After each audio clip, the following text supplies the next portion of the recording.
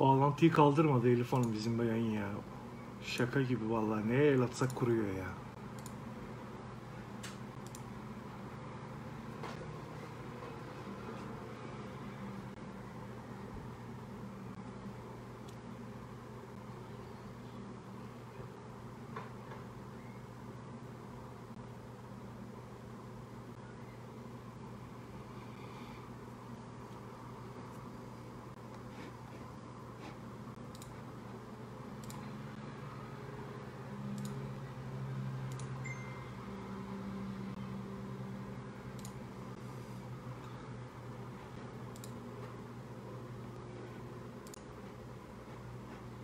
Yasir valla olmazsa senden bileceğim ha.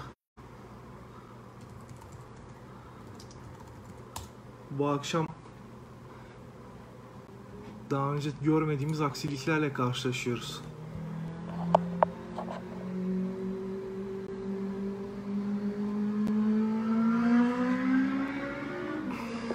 Ha gayret valla Şadan Bey. Elif Hanım geldi.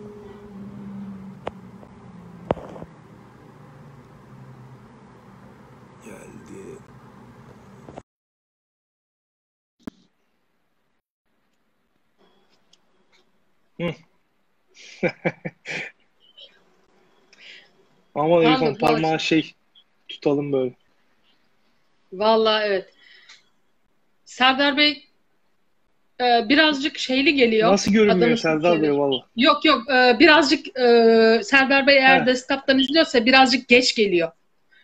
Ben bir taraftan burayı da Serdar Bey açtım ya. televizyon izliyor.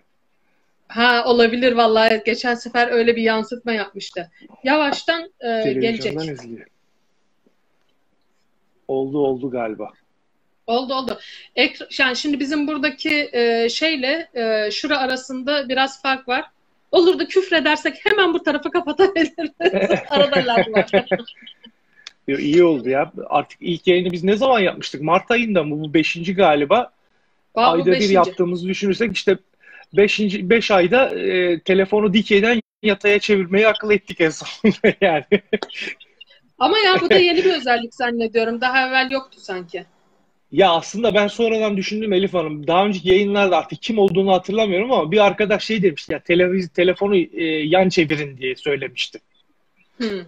Ben de ona şey demiştim ya öyle yapınca olmuyor demiştim. Demek Anladım. oluyormuş. O, o işte o yan çevirme mevzusu da e, daha dakika bir sinek girdi. Neyse e, şimdi bugün ne içiyoruz Ali Bey? Siz ne içiyorsunuz? Valla benim elimde şey var bu ara Elif Hanım. Newminster 400 var. E, pip olarak Pipo olarak yine iki tane çıkardım. Bir Rizenko. İlhan Hoca sever. evet. Ama onun bilindik uçuk kaçık modellerinden değil. Çok güzel bir klasik modelidir. Ya Bir ben böyle klasik Sebastian modelleri Bey- daha çok seviyorum. Bir de Sebastian Bey içeceğim. Şu Aa, klasik süper. sizin sevdiğiniz pump, pumpkin. E, e, benzer benzer O düşünmüşüz. E, ben de Şu e, olarak da Sebastian Bey demiştim. Şu Rizenko'nun da boyutu belli olsun diye şöyle göstereyim. Standart bir pipo boyutunun yanına koyarsak daha iyi anlaşılır şeyi.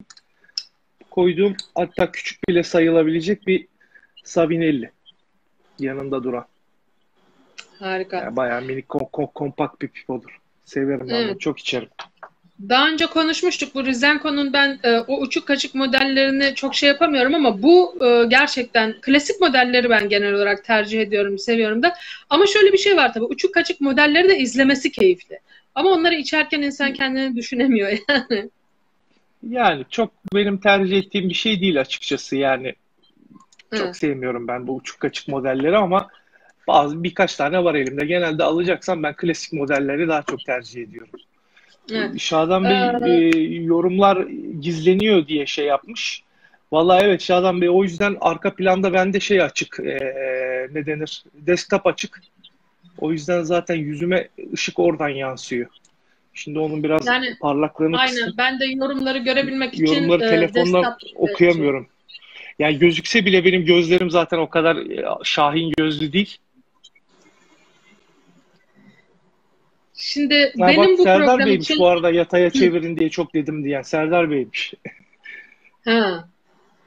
Ben daha hala yorumlara tam olarak bakamadım. Ee, o Emre'cim ben de bugün seninki gibi yapacağım galiba. Bugün hiç içilmemiş yani her programda bir tane içilmemiş açacağım e, dediğim için e, biraz da siz bana kızıyorsunuz e, bunları ne zaman açacaksınız diye bu vesileyle işte beş, beşinciyi Evet. açıyoruz yani. Ee, bu sefer GG açıyoruz. Halk işi. GG Poker. Bu benim ilk poker. Daha önce hiç poker almamıştım. Şöyle bakayım. Heh. Bunun eee, üzerindeki şeyleri görünce kuş gözlerini hasta oldum kendisine. Almamazlık edemedim yani. Eee, kendime bir şey sözü vermiştim. Eğer poker alırsam bir tane alacağım. Onu da eee, işte Tom Eltank poker, klasik pokeri alacağım diye Ona da para biriktiriyorum uzun zamandır. Ama e, bunu görünce de insan şey yapamadı yani. E, insanın içi gidiyor. Güzel yapmış adamlar. Orantısı vesairesi benim çok hoşuma gitti. E, masanın üstüne bırakınca hani İngilizce'de var ya e, solidly sitting diye yani böyle totosunu yaya yaya Taş, oturuyor. taş gibi oturuyor. Taş gibi oturuyor o, o, o vallahi. evet. bir de 9 milimetre galiba yanlış görmediysem. Elif Bu Hanım. 9 milimetre e, bunu e, doku- aynı modelin 9 milimetre olmayan versiyonları da vardı. Ama bunun üzerindeki kuş gözleri e, zaten onun için Evet. aldığımdan yani başka bir model e, hani benim için burada birincilik birinci öncelik bu sefer kökün kendisiydi modelden ziyade. Filtresiz de Ama kullanılıyor. Çok sıkıntı olmaz ya. Benim de var eskiden kalma birkaç tane 9 milimetre pipon filtresiz kullanıyorum ben. Evet. Valla şimdi göreceğiz zaten e, GG'den ben genel olarak memnundum. Bakalım bu da e, şeyi geçecek mi? Nasıl olacak? Hem de birçok arkadaş da var GG. Yakıyorum. Yakın buyurun Elif Hanım. Ben yaktım bile.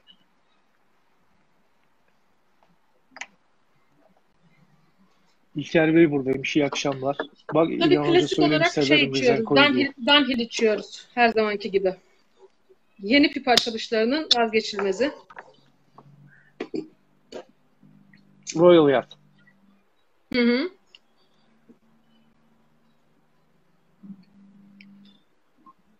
Evet Serdar Bey, Elif Hanım filtreli filtresiz ayırt etmiyor pek. Evet. İyisini buldu mu affetmiyor. Benim birincil önceliğim genelde e, form ve şey önce kök her zaman sonra form yani ik- ikisi birleşince bana gel abla al beni al beni diyor mu diyorsa e, affetme. Ee, Abdullah Bey bir soru sormuş. Akşamdan pipoya doldurup yarısını içtiğim tütün geri kalanını yarın ertesi gün içtiğim zaman acı bir tat alıyorum. Sebebi nedir acaba? Teşekkür ederim diyor. Biz teşekkür ederiz. Vallahi Abdullah Bey sebebini bilmiyorum yani o kadar fizik şeyim yok, yeterliliğim ama doğrudur öyle bir şey var. Genelde zaten pipo tütünü yakıldıktan sonra yani bitirildiyse dökülmesi lazım. Pek öyle bekletip sonradan yakılmak iyi netice vermez. Çünkü zaten dibinde nem birikmiş olur. O tütünün dibinden pek bir hayır gelmez birikmiş katranlar olabilir belki. Çok bilmiyorum vallahi şeyini, sebebini. Yasir Vallahi- sormuş. Du- Dupont. Ali. Bey'in dediği gibi Ali Bey'in dediği gibi e, dipte e, katran birikimi oluyor. E, eğer bunu atıyorum birkaç saat içerisinde yakarsanız o acılığı almazsınız. Ama bir tam gün e, tuttuğunuz zaman artık e, yukarılara doğru da nüfuz ediyor ve e, onu hissetmeye başlıyorsunuz. Hani ben e, 5-6 saate kadar e, tekrar geri yakılır. Bazen o acılığı göze alıp bir tam gün sonra yaktığımda oluyor yani. Ya ben ofise gittiğimde genelde masanın üstünde öyle yarım kalmış pipo duruyorsa alıp yakıp devam ettiğim oluyor. Yani çok Hmm. tercih ettiğim bir şey değil ama varsa da bazen devam ediyor. Acı geliyorsa da bırakıp Hmm. döküp yenisine geçtiğim oluyor yani. Çok takılmıyorum üstünde. Ama prensip olarak genel kabul edilmiş kaide olarak diyelim. Hani yani söndükten sonra üstünden eğer böyle bir 15-20 dakika geçtiyse yenisini yakmak daha faydalı olur diyelim. Evet. Sesten belliydi zaten diyor Yasin'in. Sesler şey kulaklar vallahi yarasa kulağı gibi hemen aldı şeyi yani çınlamayı. Bu DuPont'ların da zannediyorum iki tane versiyonunda, iki modelinde e, bu çınlama var diye e, biliyorum. Yani diğerlerinde de var da özellikle bu çınlama için e, eleman çalıştırıyorlar. E, onu dinleyen bir abla varmış. Doğru ses geliyor mu gelmiyor diye, gelmiyor mu diye. Birisi e, Line 2, Diğeri de neydi? Yine büyük modellerden bir tanesi. Line 2, Line 1'lerde yok o çınlama sesi. Line 2'lerin hepsinde e, eline verip ablanın böyle Yok Elif Hanım yanlış oldu. Benim kullandığım line, line 1 bu. Line Bu 1 mi? line 1 hatta boyutunu şey yapmak isterseniz şöyle iki tane yan yana koyup Hmm. Line 2'lerdeki sağdaki ses line çok 2. çok Elif patlıyor Hanım diyorlar. şeyden dolayı ya benim benim şey tecrübelerime dayanarak söyleyeyim. Yani var elimde mineli. Mineli olanlarda bu el bitirmesi mineli hikayesi diyorlar yani şunun gibi olanlarda. Bunlarda genelde ses daha e, düşük seviyede mesela bakın. Bunda daha düşük. Ha, Metal olanda bunda daha Ha. fazla. evet. Yani bana öyle dediler. İşte her, Şeyde her ikisinde yani. de o ses var ama şeyde Line 2'de böyle ting ediyormuş. O ping sesi diyorlar Evet. ona. Ya onun içerisinde ufak bir tane metal parça var. O yapıyor o sesi. Yani o kadar da Evet, aslında evet. şey yapılacak zor bir Onu şey da değil özel yani. olarak satıyorlarmış. Doğrudur. Doğrudur. Serdar Bey yorum bekliyor sizden Elif Hanım. Vallahi çok süper başladı. Ben çok çok memnunum. Şu an başlangıçtan. Ama yani bir saniyede tabii bu yorum yapılmaz ama başlangıcı çok iyi. İyi ki almışım. Ya genelde aslında samimi bir şey söyleyeyim mi Elif Hanım? Genelde benim tecrübelerim Pipo ilk yandığı zaman ben şu ana kadar kötü bir netice veren bir Pipo'ya rastlamadım desem yeridir. Evet evet sonradan belli Genellikle oluyor. şeyden dolayı o ağaçtaki artık o e, susamışlıktan mıdır nedir yani kuruluktan mıdır nedir? Yani ilk içimlerde genellikle hep kuru ve güzel bir içim veriyor. Tabii Çok buna şeyin de çok aynen. büyük bir etkisi var. Şimdi ağaç hiç kullanılmamış. İçerideki delikte herhangi bir tıkanma olmamış. Katran birikmesi olmamış. Otoban gibi yani çalışıyor. Yani bir 5-10 içimden sonradır aslında esas piponun kendini göstermesi. Aynen aynen. Biraz da yani şu daha an bir evvel- şey demek zor. bir şeye yazmıştım onu hatırlıyorum. Berkay Bey'e yazmıştım. Ben biraz da içildikçe pipoların açıldığına da inanıyorum. Evet, evet. Ağacın ısıya e, sizin kullanırken yarattığınız ısıya belli bir standardı yakalamaya ona kendi ağaç da alıştırıyor kendini. Ee, Bir şu ana kadar bir tek şey e, olumsuzluk söyleyebilirim. E, o da yani haliyle şimdi ç- çeviremiyorum da şöyle bulunduğu yerde şöyle çevireyim de bakın. Biraz kalın e, e, devamlı e, şimdi zarif pipolarla içmeye alışınca belli bir süredir bu böyle kocaman geldi. Ama e, hani rahatsız değil ama enine geniş. E belli Yani bir mesela sadece- olacak tabii onlarda. Evet bir dişe bir dişe dokunurken bunda ikisine dokunuyor gibi düşünün.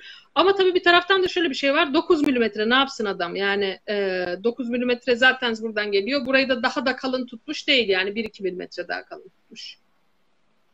Önder Bey pipo alırken bana yardım eden Gül Hanım'a ve Ali Bey'e çok teşekkür ederim. Bütün sorularıma sabırla cevap verdiler diyor. Vallahi Önder Bey sizi hatırlıyorum ben de. Böyle çok fazla bir şey sorduğunuzu hatırlamıyorum. Biz nelerle uğraşıyoruz. yani siz yanlış değilsem 2-3 soru sormuştunuz o kadar yani. Önder Bey'le ben e, uzun uzun konuşmuştum. E, en son bir tane soru sormuştu. O sırada ben İstanbul'a e, gidiyordum bu sağlık sebepleri yüzünden. E, daha yeni Geçmiş dönebildim evet. İzmir'e de. Cevap veremedim ama e, Önder Bey sizin o sorduğunuz soruyu da e, gerçekten fırsatım olmadı şey yapmaya. Şunu yapmanız gerekiyor. Daha önce de konuşmuştuk.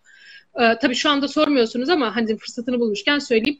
E, ne olur Ankara'dan bir ya da iki arkadaşla. Çünkü o anlattıklarımın anlatılmasıyla uygulaması e, arasında çok e, fark var. Uygulama sırasında görürseniz e, çok daha fazla şey ifade edecek. E, ve hani mesela Umut arkadaşımız buluşalım demişti size ya da Ardalarla olabilir.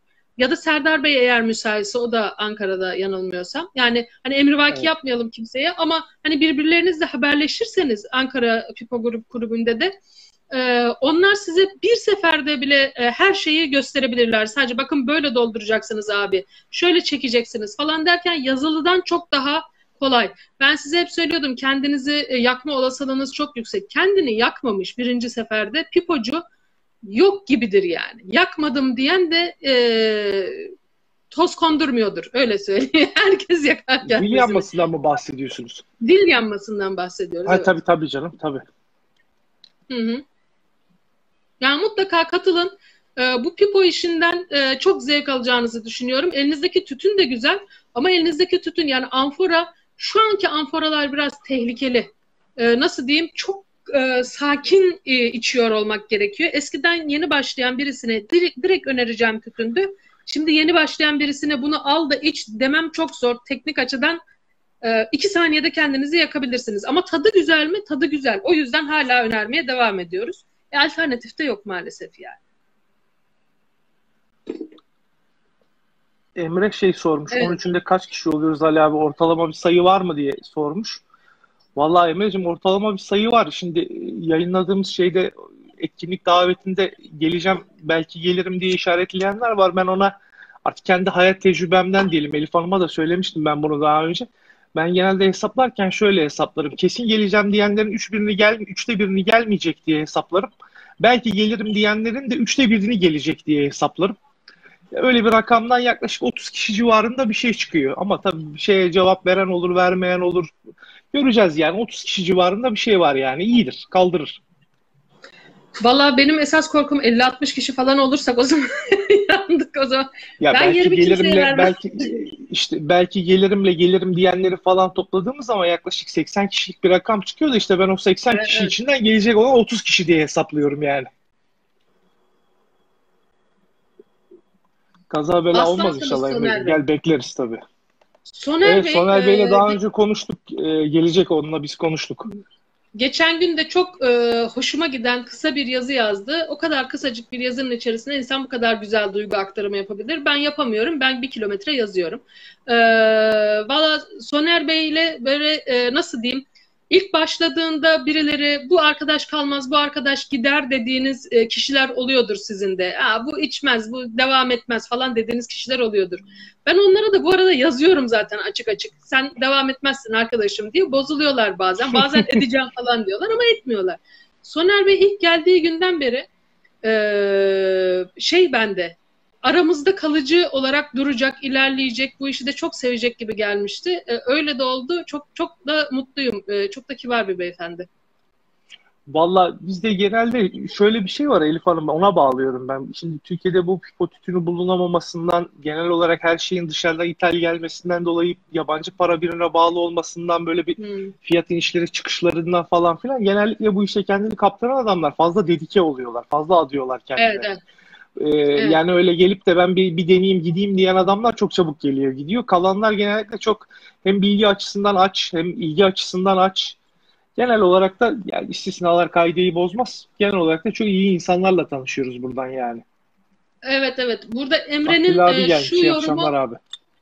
E, Emre'nin şu yorumu e, birçok şeyi özetliyor aslında. İstikrar abidesi diyor ya. Bu mevzuda biraz istikrar e, gerekiyor ya. Yani insanlar bana soruyorlar niye ben bunu devam ettiremiyorum? İstiyorum ama olmuyor falan diye. Bir tek pipo tütünü bulma, pipo bulma mevzusu da değil. E pipo bir sürü var. Bir sürü insan satıyor artık.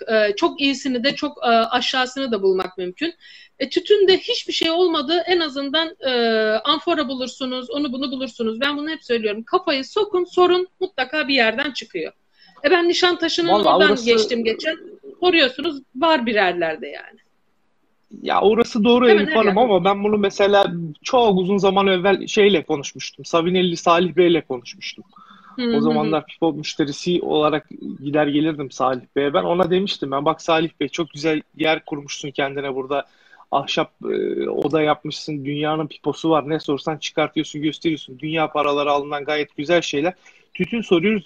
Nişantaşı'nda merdiven altında bir kaçakçıya gidiyorsun. Yani hani Evet. bir anda nereden nereye? O tütün çok büyük sıkıntı yani şey hususunda, Evet, pipo evet. hususunda. Onu ben kabul ediyorum açıkçası. Ama dediğim gibi oradan gelen handikap da insanların yani kalıcı olanlarının bu işe çok e, bağlanmasına şey, sebep oluyor. O zorlukları Evet. göze alanlar genellikle şey yapmıyorlar. Ufak tefek şeylerden gözleri korkmuyor. Bana öyle geliyor ki yani e, önümüzdeki bir 5-10 sene içerisinde birileri e, yavaş yavaş Pro'da çünkü iyice yapmaya başladılar. Bir talep vesaire var. Tabii Pipo'da o kadar talep yok ama ben yine o procuların yapacağını düşünüyorum. Belki yavaş yavaş kutulardan, bir şeylerden bir tek marka bile olsa birileri getirmeye başlayacak gibi hissediyorum. Çünkü devlet devamlı bununla ilgili yaptırımları değiştiriyor. Vallahi ben hiç takip etmiyorum o yaptırımları bilmiyorum yani hiç haberim yok. Ben oku, Getirirlerse okuyorum. ne okuyorum güzel. ben. Evet. Yani ben genelde bildiğiniz üzere yani sık yurt dışına çıktığım için ben genelde yurt dışından alıyorum tütünlerimi. Yani İstanbul'da da yani sadece kulaktan dolma bilirim nerede satıldığını. Doğru düzgün alışverişim de olmamıştır hiçbirinden. Hı. Şey bir soru Atilla- sormuş. Atilla Bey, Abdullah Bey bir size de iyi soru sormuş. akşamlar. İyi Ee, akşamlar Atilla Bey iyi ben akşamlar. Ee, ben onu kaçırdım arada. Şey, e, Abdullah Bey'in sorusu, Latakya'nın baskın tadını pürüzlerimizden Latakya'dan aşağıya tütün içmemeye başladım. Bu doğru bir yaklaşım mıdır? Kişiden kişiye değişir. Bazıları var, e, aynı pipo içerisinde aynı günde e, çikolatalıyı koyuyor, sonra Latakya'yı koyuyor, sonra Virginia koyuyor, yoluna devam ediyor. Bazısı var, mesela benimki gibi, Virginia'dan başka hiçbir şey içmemeye çalışıyor. Bazısı var, e, aynı pipo içerisinde Latakya'dan başka hiçbir şey içmemeye çalışıyor. Şu bir gerçek. Virginia çok nadirdir koku bıraktığı. Ben bir ya da iki kere denk gelmişimdir. McLaren'ın bir ürününde olmuştu. Onun haricinde Virginia genelde koku bırakmaz. Ee, ama Latakya sağlam koku bırakır. Koku bıraktığı zaman da bir sonrakinde eğer Virginia içmeye kalkarsanız aynı pipoda Latakyalı Virginia iç- içmiş olursunuz. Ghosting dediğimiz şey olur. Bu size kalmış. Eğer elinizdeki pipo sayısı müsaitse ee, sadece latakya doldurarak o pipoyu devam edebilirsiniz. Size kalmış yani. Yanlış bir şey yok. Ha, evet, içim açısından falan öyle zarar veririm falan filan öyle bir şey yok. Tamamen tatsal bir şey yani. Evet. Ama tabii alttan dipten yani latakya aroması geldiği yerde de bu sefer içtiğiniz Virginia'nın bir anlamı yok yani. Ne içerseniz için yani latakya karışımlı bir şey gelir. O yüzden bu sefer de kullandığınız Virginia'nın ne olduğunun pek bir önemi kalmayacak yani. Evet. İyi akşamlar Sait Bey. Sağ olun. Size de iyi akşamlar. İyi akşamlar Sait Bey. Bak Murat Akça da dediğimi doğrulamıştı. Zorluklarla yılmayıp Aynen. devam ettik diyor. Yoksa çoktan bırakmıştım diye. Tabii Aynen verilmiş bir Murat mücadele Bey. var. O mücadeleye yazık olur diye yani. Murat başladıktan bir yıl sonra biz internette tanıştık. Ondan bir buçuk iki sene sonra da yüz yüze tanıştık. Ee, çok tatlı bir kardeşimizdir. İyi ki o da bırakmadı yani. Ben e, bir şekilde gerçekten bu istikrar gerekli. Ee, Serdar Bey size yönelik bir soru sormuş. Winslow Crown 200 Newton Evet gördüm olsun. Ben de bekliyordum şey. Vallahi o Serdar Bey ona cevap vermek zor sorular bunlar yani. Kök kalitesi bakımından hangisi tercih edilmeli? Valla ikisinin de iyi kök kullandığını biliyorum. Winslow genelde iyi kök seçer. Bruno'nun da Heritage serisinde kullandığı köklerin şeyden e, Şakom'dan bayağı uzun yıllar beklemiş kökler. İkisi de iyidir yani. 20-25 O açıdan çok senelik şey diyemeyeceğim. Belki daha fazla yani 20 sene diyelim. Öyle kalsın da yani orada söylenen Şakom'da ben fabrikayı ziyaret ettiğimde bana 2-3 tane çekmece şey göstermişti sahibi. 70 plus yıllık ıı, şeyler çevrilmiş pipolar göstermişti yani hani onlardaki stok öyle pek bitecek gibi değil. Geç Şimdi şöyle bir şey var. Aslında. Serdar Bey kendi, kendiniz de cevap verebilirsiniz bunu. Sizde Nutens Heritage serisinden Bing, Bing var zannediyorum. Bing'den ne kadar memnunsunuz? Ee, ona bir bakmak lazım. Ee, Bing'den eğer çok memnunsanız, çok çok memnunsanız emin olun Winslow Crown 200'den de memnun olacaksınız ama ikisi farklı tatlar veriyor. Yani mesela e, bendeki Bing ya da bendeki diğer Heritage serisinden Prince ya da Acorn e, Bruno'nun pipoları e, biraz da hani yine eski şeylerden biraz da formlarından dolayı dolayı biraz daha fındıksı nati dediğimiz e, tatlara daha müsait. E, ama mesela Winslow'un e, hem 200'e hem 300'e içtim. Winslow'unkiler daha tatlımtırak. Sanki böyle e, ne bileyim e, daha sanki farklı bir şekilde e, kök işlenmiş gibi. Hani ikisi tat olarak birbirinden farklı ama içim kalitesi ya da size vereceği zevk açısından büyük bir fark yakalayacağınızı zannetmiyorum. İkisi de olur. İki tane soru var Elif Hanım. Bunlardan bir tanesine ben cevap vereyim. Ee, Çağrı Bey tütün ithalatı ile ilgili e, yazmış. Ben bununla ilgili daha önce de ya yazmıştım ya söylemiştim bir yayında. Tam şey yapmıyorum ama ben kaç sene evvel bu işi araştırmıştım. Ciddi ciddi araştırmıştım yani. E, yapmayı düşünmüştüm açıkçası ithalatını. Bahsedildiği kadar zor bir şey değil açıkçası yani. Kafaya konduktan sonra yapılmayacak bir şey değil. Öyle çok fazla bir bürokrasisi var tabii ama aşılmayacak bir bürokrasi değil doğru yerlere gidildikten sonra. Fakat sıkıntı şöyle bir şey. Herkes onu göz ardı ediyor. Bizim ülkemizde tütün ürünlerine %200 vergi uygulanıyor. Ben e, o zaman şimdi tam rakamları hatırlamıyorum ama yani sigara falan böyle şu anda kaç para bilmiyorum da 18 lira 19 lira falan diyorlar. Bu benim bahsettiğim yani sigaranın paketinin 7 lira olduğu zamandan bahsediyorum ben. O zaman e, yasal olarak 50 gram tütünün legal satışı yaklaşık 220 liraya falan tekabül ediyordu doğru yapılırsa bu iş. Evet. Çünkü havaalanındaki e, şeyden mesela hemen çok basit bir hesaplama yapalım. E, 50 gram tütün havaalanında vergisiz olarak 9 euroya satılıyor. 9 euro bugün 7 ile çarparsanız yaklaşık 42 lira falan yapar. Bunu 2 ile çarptığınız zaman yaklaşık 150-160 liraya falan tekabül edecek. Onun üzerine bir de %18 katma değer bineceksiniz. Oldu size 180-190 lira gibi bir para. Daha bunun dağıtım ağı, stoğu, çalışanı, boku püsürü bilmem ne falanı filanı yani o yüzden o işi devlet dese ki ben serbest bıraktım buyurun getirin ben pek yapılabileceğini zannetmiyorum açıkçası. Tamamen ekonomik Bunu- sebeplerle yani. Bunu bir kere ben yine sizden pipa almaya geldiğimde kendi aramızda da konuşmuştuk. Ali Bey bana çok detaylı bir e, böyle kağıdı çıkartıp bu bu bu bu bu bu bu diye böyle hesaplamaya başladı. Ben ortasında artık tamam gerek yok anladım dememe rağmen Ali Bey sonuna kadar gitti. Gerçekten de yani şöyle söyleyeyim size. Koç olsanız, koç ailesi olsanız o işe girmezsiniz. Öyle söyleyeyim. Yani arkada ne kadar Sizin bu- paranızın olduğuyla alakalı değil o iş. Sizin bu dediğiniz şeye benzedi Elif Hanım. Meşhur hikayesi vardır Napolyon'un kaybedilmiş savaştan sonra generallerine gidiyor. Bu savaş niye kaybedildi diyor. Efendim diyorlar 100 tane sebebi var. Sayın diyor başlayın anlatmaya. Adam diyor ki bir barut bitti. Napolyon da diyor ki gerisini anlatma yeter yani. Aynen, aynen. Zaten bu arada Emre deminden beri e, bir şey söylüyor. Orada da Emre'ye çok katılıyorum. Haklı. Çünkü bu yasallaştığı zaman e, bir ya da iki çeşidin ötesine geçemezler. Orada haklı. Yani ancak nasıl geçebilir? E, Orlik'le yani e, Scandinavian Tobacco ile komple anlaşacak ya da McLaren'le komple anlaşacak. Bütün seriyi getirirse ancak çeşit olur. Öbür türlü doğru söylüyor. Yasal olduğu zaman e, çeşit de olmaz. Aynı Çeproları gibi bir e, bir işe döner. Bir de öyle bir şey var.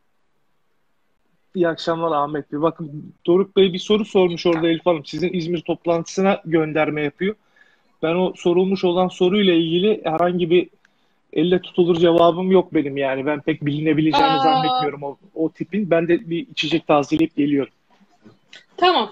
Ee, şimdi Doruk Bey o zaman da konuşmuştuk. Ee, yine pipalar üzerinden örnek vereyim aslında. Bu güzel bir hazine örnek vermek için. Bu e, 19 buçuk 20 falan çapına sahip olması lazım. Ama yüksekliği bayağı var e, haznenin. E, uzun ince değil de Billard haznesinden biraz daha uzun diyebiliriz iç hazne için.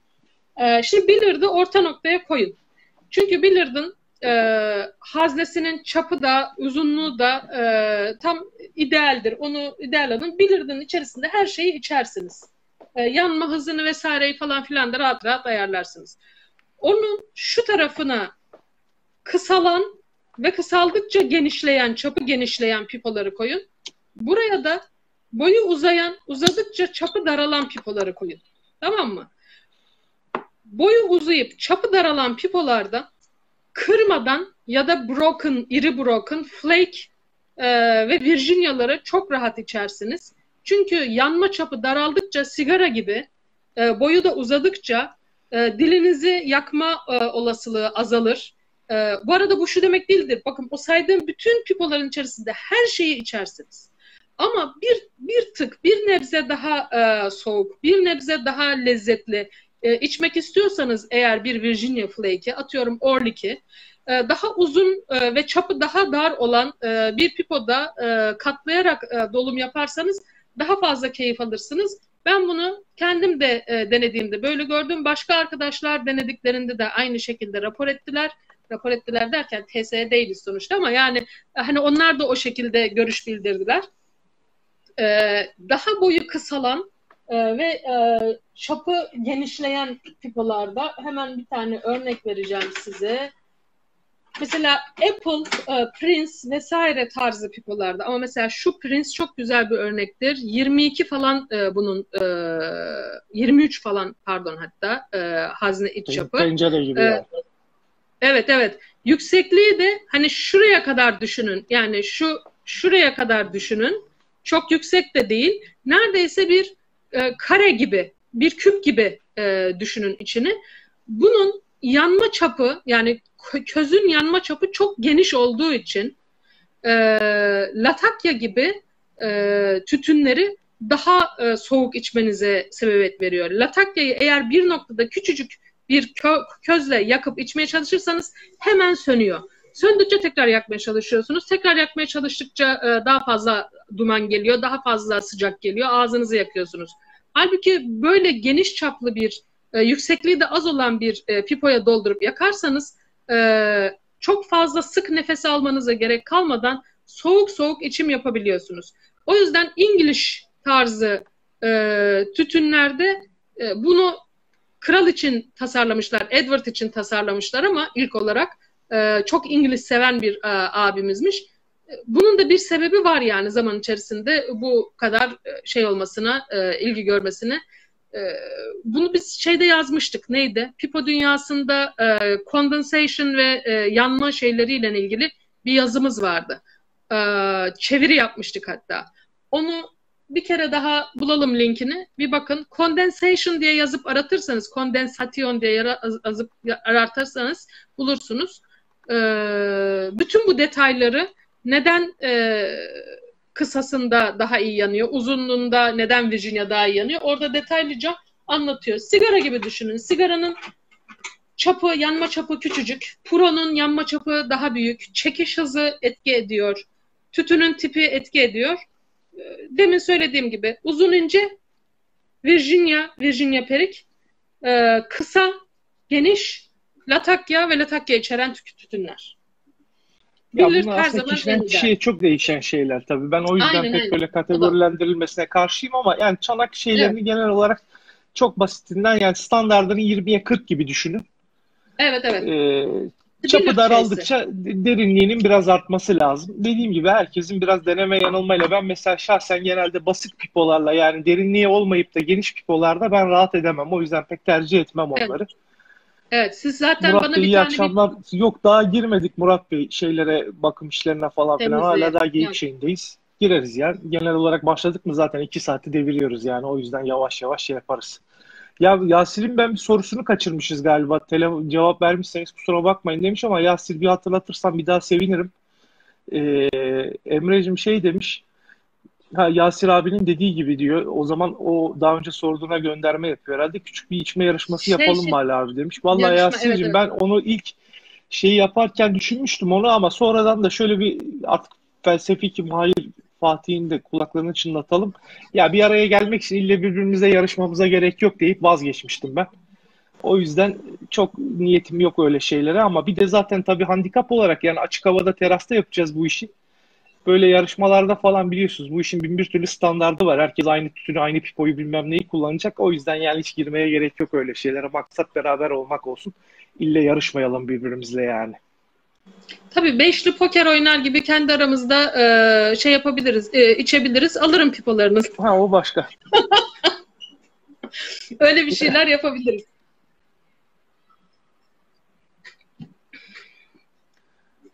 O zaman yavaştan girelim mi Elif Hanım konuya? Başka var mı so- sorduğumuz, Tamam. atladığımız bir şey? Bu hafta da yayın Vallahi, iyi galiba e, ya. Geçen seferkinde çok fazla kesiliyor kesiliyor diye şey almıştık. Hakikaten de öyleydi Evet, herhalde. evet. Duyduk yerde yazmazlar. Bu seferki Evet, evet. fena değil herhalde yani. Şöyle yapalım. e, siz isterseniz e, başlayın ya da e, yani nasıl yapalım? E, arada arkadaşlar başka konularda sormak istedikleri sorular varsa da onları yine sorarlar ya da temizlik mevzusundan sonra bir daha sorarlar. Bugün e, soru soran fazla Allah'a şükür. Yasir gelince sorar. Evet. Yasir Yasir ama Hı. Yasir çekilişli hediye peşinde ya. Yasir sen Amerika'dan mı katılacaksın oğlum oraya? Yani. O zaman Herkes tamam yavaştan girelim şeye. Emre'cim şimdi bana yine Temizlik birilerine laf sokturtacaksın. Pipsan, Pipsan'lı yarışmayı da gördük. Evet. Neyse şimdi sokmayın kimseye laf da. Şimdi temizlik şeyini öncelikle bir ikiye ayıralım. Kaba taslak şey yapmadan evvel, derinliklerine girmeden evvel. İlk bir kullanıcının kendi piposunun periyodik temizliği diyelim. İkincisi bir de ya öyle de sorular. Şimdi temizlik dendiği zaman hepsi aynı çatı altında geliyor. Ee, bir de ikinci ele alınmış pipoların temizliği açısından düşünelim. Şimdi Evet. bunların ikisinin şeyleri biraz farklı birbirinden. Şimdi insan kendi kullandığı pipoyu hijyenik e, hale getirmesi yani hani kendi kendi kendinden tiksinmiyorsa tabii çok bir problem yok ama ya açıkçası ben şahsi tecrübelerimden e, yola çıkarak tabii anlatıyorum böyle şeyleri. Taşa yazılmış bir kuralı yok bu işlerin ama ya ben genelde ikinci el pipo aldığım zaman e, biraz hırpalayarak temizlerim açık söylemek gerekirse kendim temizliyorsam. Eğer hani yapan ustası ölmüş kıymetli falan bir şeyse ben şahsen yurt dışına Danish Pipe Shop'a yolluyorum. Onlar e, ya Tomel Tanga yaptırıyorlar ya da onların e, şimdi siteye yeni getirdiğim Yoğuz var.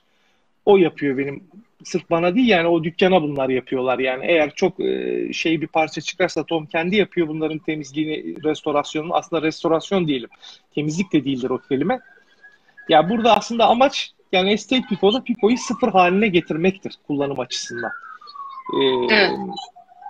o yüzden biraz daha fazla hırpalanır mesela e, şimdi çanağın içi, şenkin içi, oradaki deliğin içindeki şeylerin hiç içilmemiş hale getirilmesi lazım. Bu meşakkatli bir iştir, vakit alır. O yüzden yani hani açıkçası ben kendim de öyle yani oturup 20 liralık pipo için uğraşmam yani böyle şeylerle. Evet. Ama e, kendi kullandığınız pipo için başlayalım. Önce ondan gidelim. Ağırlık olarak herkesin sorduğu şey o çünkü. E, şimdi kendi piponuzu temizlemeyi de şöyle ikiye ayıralım yine benim orada arkadaşların yaptıklarından, sorduklarından falan tespitlerinden şöyle bir çıkarım yaptım ben. Ya birincisi piponun bir iç temizlik, bir de dış temizliği diye ikiye ayıralım. Bu dış temizlik denen hikaye aslında sizin yaptığınız için hiçbir işe yaramayan bir şey. Net olarak söyleyeyim bunu bir kere. Bu yani şu demek aslında. Ya arabanızı mesela o örnekten gidelim. Yani arabanızı araba yıkamaya götürüp yıkatıp eve geri getirmek demektir. Başka hiçbir şey yaramaz kozmetik görüntüden başka. Esas yapılması gereken şey iç temizliktir. Bu da ne demek mesela arabada şey yaparsak ya arabanın yağını değiştirmek, lastiğinin havasını değiştirmek vesaire vesaire. Esas olan şeyler bunlardır. Geriye kalanı tamamen dediğim gibi kozmetik. Şeyi temizlerken de, piponun içini temizlerken de e, kullandığınız bildiğiniz şeyler. İşte bir reaming dediğimiz şu çanağın içindeki keki arada bir almak. İkincisi yapmanız gereken de şenke içerisinde çanakla birleştiği yerdeki deliğin etrafında zamanla oluşmuş olan kurumu temizlemeniz. Bunlar aslında en az e, şey yapan, e, ilgi gösterilen bu tam çanağın dibindeki şenke çıkış yapan deliğin etrafındaki yerdir. Burayı temizlemesi zordur. Kendi başınıza pek becerebileceği olay değildir. Özellikle temizleme çubuklarıyla falan mümkün değil temizleyemezsiniz burayı. Buranın bildiğiniz matkap ucuyla temizlenmesi lazım. Şimdi ben onunla ilgili benim kullandığım bir alet var. Onu da ben Taha Usta'dan almıştım. Taha Usta'ya da e, şey yapmıştım. Bunu ben yayında göstereceğim. Senden aldığımı söyleyeyim mi diye izin almıştım söylerken. Çünkü ben bunu aldığım zaman elinde bir tane vardı. Sağ olsun bana verdi. Şimdi başkası bin kişi isterse hani adamı da mahcup durumda bırakmayalım diye bakın şöyle bir 4 milimetre şey 3 milimetre bildiğiniz matkap ucu. Bunu Serdar Bey şimdi mesaj atıyorsunuz da onlara şimdi bakamayacağız. Ee, şöyle bir sapa taktı. Benim yaptığım şey şunu piponun çanağının içine sokup şu deliğin şeyini temizlemektir. Tam deliğin ucundaki şeyi kurumu temizlemektir. Bu anca bunlarla çıkar. Ben bunu bir ufak bölmek söyledim. istiyorum. Buyurun. Bir ufak bölmek istiyorum. Şimdi e, Ali Bey'in dediği gibi bu Ali Bey'in elindeki matkap ucu e, ben onu çok aradım arkadaşlar. E, hani Taha'ya da mahcup etmeyelim deme sebebi biraz da o. Yok hiçbir yerde. Yani Bauhaus'undan tutun Koçtaşı'na, Koçtaşı'ndan Yok. tutun Perşembe Pazarı. İşte ben Yok, onu zaten bulamadım. onu söyleyeceğim Elif Hanım. Şimdi evet, ben evet. Taha ile konuştum bunu. Elinde yoktu. Hani göstereceğim senden aldığımı. Bin kişi mesaj atarsa sıkmayalım canını dedim. O da dedi ki abi eğer belli sayıda birisi isterse ben bunu toplu sipariş verip aldırtırım dedi. Hani evet. benden söylemesi. isteyen olursa Taha ile iletişime geçsin. Bu yani hani eğer böyle evde ben pipo temizleyeceğim falan filan diyen adam için hani temizleme çubuğundan daha önemlidir açık söylemek Aynen. gerekirse yani. Geriye kalan şeyler biraz işin şeyidir, kozmetik şeyleri ya da e, gönül evet. ferahlatmasıdır yani. Onun dışında şeye gelirsek periyodik bakım Çağrı Bey sormuş periyodik bakımlarla ilgili. Şimdi Çağrı Bey sizin o söylediğinizle ilgili yani eleştiri diye algılamayın bunu sakın. Yani üzülürüm öyle algılarsanız ama ben daha önce de bunu içimle ilgili birkaç kere söylemiştim. Şeyleri çok fazla böyle ne denir e, bilimsel bir şekilde böyle periyodik hale getirmek biraz yanlış olur. Neden diyeceksiniz? Ya şimdi mesela ya ben bu pipoyu şimdi bu akşam içiyorum bir daha herhalde iki hafta sonra içerim. Ben bu pipoyu her gün içiyorsam ve yedi gün içiyorsam O zaman bunların hepsinin temizliğinin zamanı bilmem nesi falan filan farklı olur. O yüzden bu biraz kullanımla alakalıdır. Yani öyle periyodik olarak günlük için, aylık için, hafta, haftalık için falan filan gibi bir şeye girmek bence yanlış olur. İşte burada en önemli şey ne zaman gereklidir temizlik için? Temizliğin de çok fazlası iyi bir şey değil. Şahsi görüşüm benim. Ben mesela herkese söylerim bunu. İşte çoğu da şaşırır hatta bazısı kızar da mesela. Ben pipolarımı her içimden sonra temizlemiyorum. Temizlenmesini de ben mantıksız buluyorum açıkçası. Ben içtikten sonra pipoyu boşaltır bırakırım. Bazen boşaltmadan da bıraktığım olur yani. yani şimdi ofise gitsem masanın üstünde duran 3 tane pipodan 2 tanesi dolu duruyordur yani.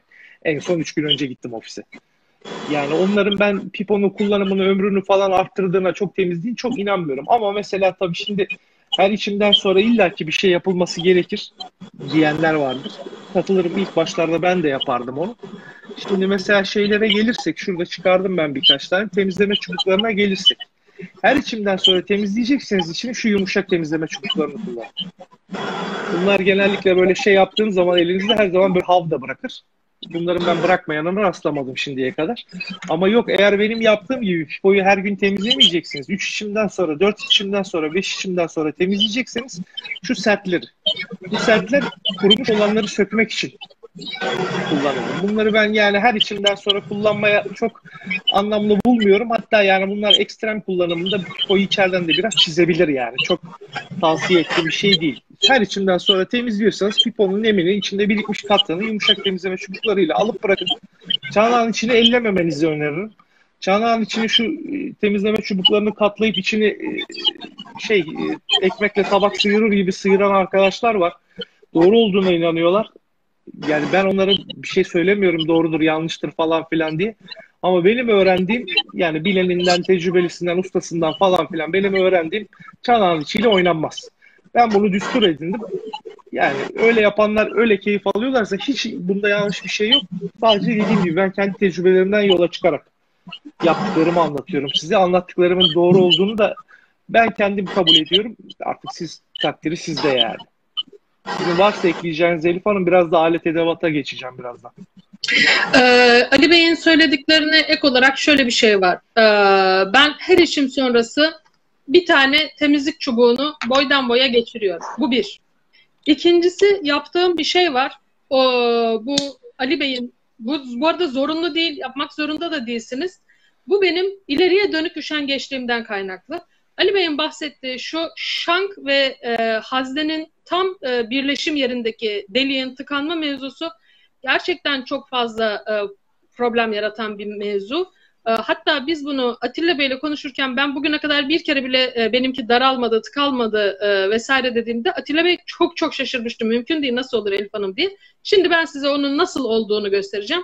Bu arada yine yapılmaması gereken ama sizler için göstermek uğruna yapacağım şey. Sıcakken bunun açılmaması gerekiyor. Kimse yapmasın. Ee, ama ne yapıyorum? Kulak çubuğunu alıyorum. Bittikten sonra içim. E, deliğe getiriyorum. Hafif hafif döndürerek itiyorum. Ve oradaki e, inşallah şimdi içinde kalmaz. E şimdi tabii daha yeni içiyoruz. Çok fazla bir şey olmadı. Ama şöyle göstereyim. Tabii bu her içim sonrası simsiyah olarak katran şeklinde çıkıyor. Ee, orada birikmiş olan yapışkan katranı e, alıyor bu. Bunu yapmak zorunda değilsiniz. Ben daha sonra üşenip oralara bir şeyleri sokup delmek istemediğim için e, yapıyorum. Çünkü e, bir kere öyle bir tıkanma olmuştu. Ben oraları sanki haşet ediyorum gibi gelmişti bana. Bu yola gittim ama yapmak zorunda değilsiniz. Daha sonra Ali Bey'in dediği gibi periyodik olarak temizlik de yapabilirsiniz. Hatta e, uzun zamandır onları yanımda taşımaktansa şöyle şeyler taşıyorum. Haha beni de yaz. Ben de olmadığı için gittim şundan aldım. Bunları taşıyorum. Eğer tıkanır mı kanır bir şey olursa ya da böyle e, tütünü ben de boşaltmayı unutursam kurur kalırsa falan diye bundan itip çıkartıyorum ama ahşaba değmemeye çalışıyoruz. Bunu ahşaba hiç de değdirmiyoruz ona göre. Başka ekleyeceğim bir şey yok. Söylediklerinizin hepsine katılıyorum. Serdar Bey ben sık kullandığım ve pipo adedim sınırlı olduğundan ve her kullanım sorununda soğuduktan sonra düzenli temizliyorum demiş. Valla Serdar Bey doğrusunu yapıyorsunuz. E, soğuduktan sonra temizlenir pipo zaten temizleyecekseniz. Evet. Hiç yanlış bir şey Aynen. şey değil. Tamamen tercih meselesi yani. O şekilde keyif alıyorsanız herkesin doğrusu kendine. O yumuşak Krem temizleyici hakikaten sürmediğiniz çok sürece nemlendirecek Şimdi ona da geleceğiz. sürece. Krem de krem kremin de gerekli olan bir yeri var Elif Hanım benim şahsi görüşüm olarak yani. Onlara geleceğiz yavaş yavaş. Alınacak bir şey yok tabii demiş Harbi. Onu anlamadım. Çanakta yanmamış Yok alınmayın oluyor, alınmayın demiştiniz ya. Ha pardon ya. Evet kaçırdım şeyi. Ya yok şimdi alınacak bir şey yok tabii de hani böyle e, aradan çekip örnek yapmış gibi isim söyleyerek şey yaptığım için söylüyorum. Çok kişi soru sormuyor. Soru soran kişiyi de e, pişman etmeyelim soru sordu.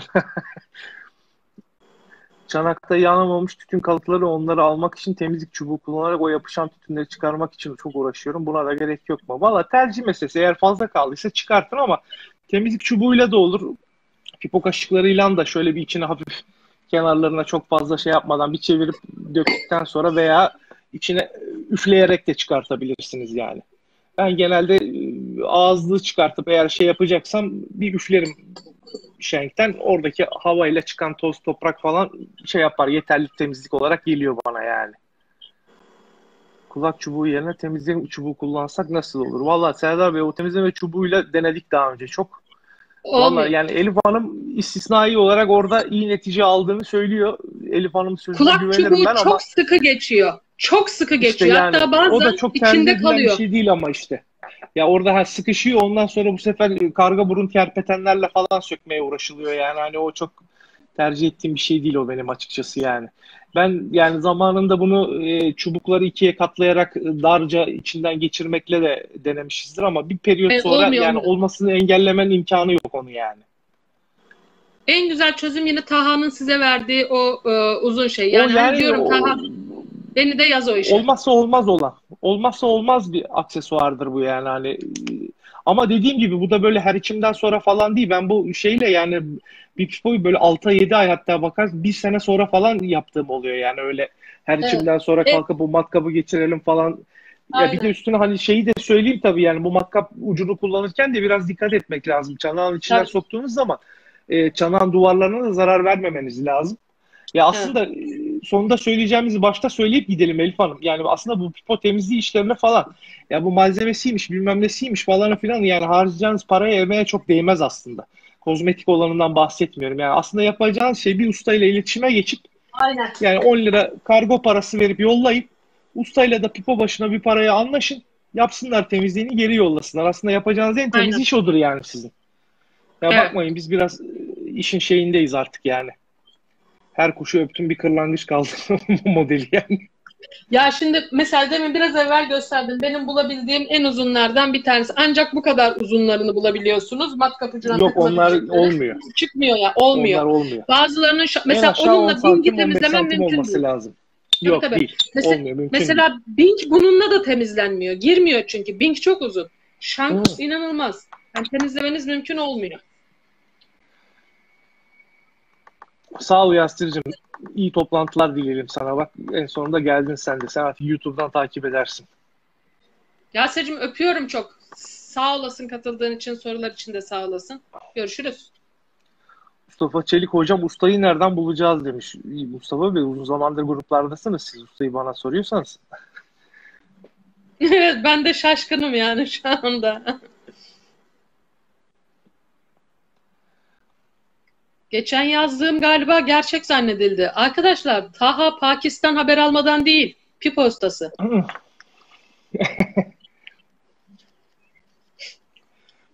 Şeye geçelim mi o zaman? Birkaç kullanılan alete edebata. Tamam. Ee, bir kere Estağfurullah özür dileyecek bir şey yok. Filtresinden kalan bir oluşma ve içim sorusu dipte kalan kolu çana güneş çalkalayıp kurumaya bırakıyorum. Keyif oluşuma faydası zararı var mı? Hava mı? Dur şu soruyu Şimdi- anlamadım. Bir daha okuyalım şunu. ben o yani soruların hepsini aynı anda göremiyorum. Siz istiyorsanız bakın soruları ben şu alet edevatı çıkartıyorum. Valla ben hiç denemedim Berkay Bey bu söylediğiniz şeyi. Şey demiş, içim sorusu dipte kalan külü çanak içerisinde çalkalayıp kurumaya bırakıyorum. Kek oluşumuna faydası zararı var mıdır diyor.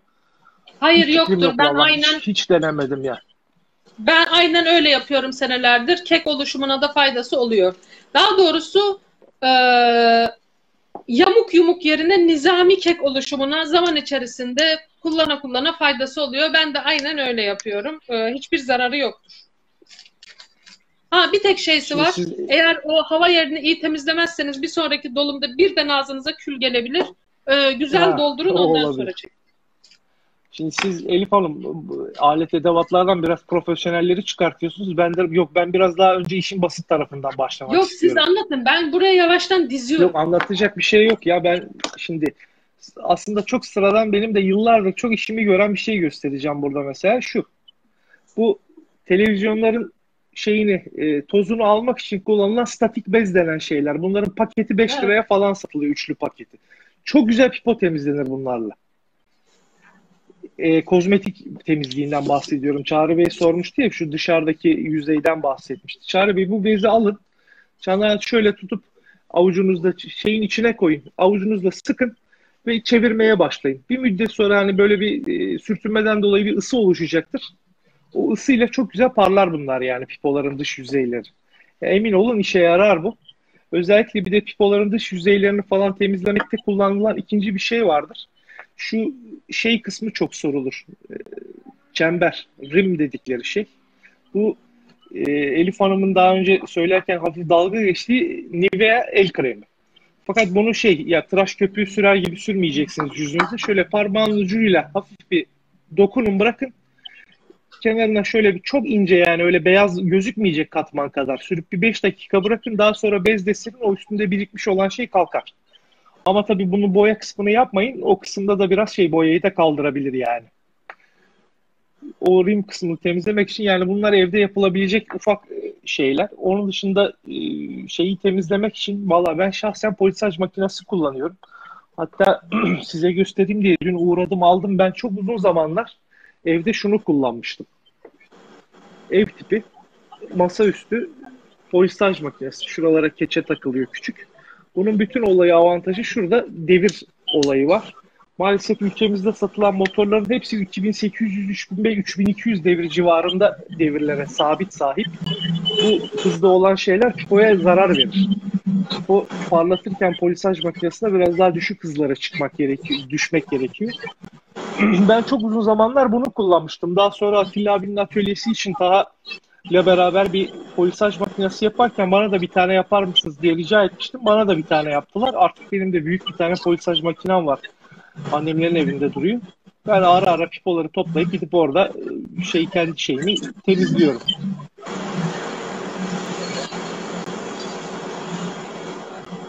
Kulak çubuğunu nerede kullanıyorsunuz Çağrı Bey? Rimde mi içeride mi?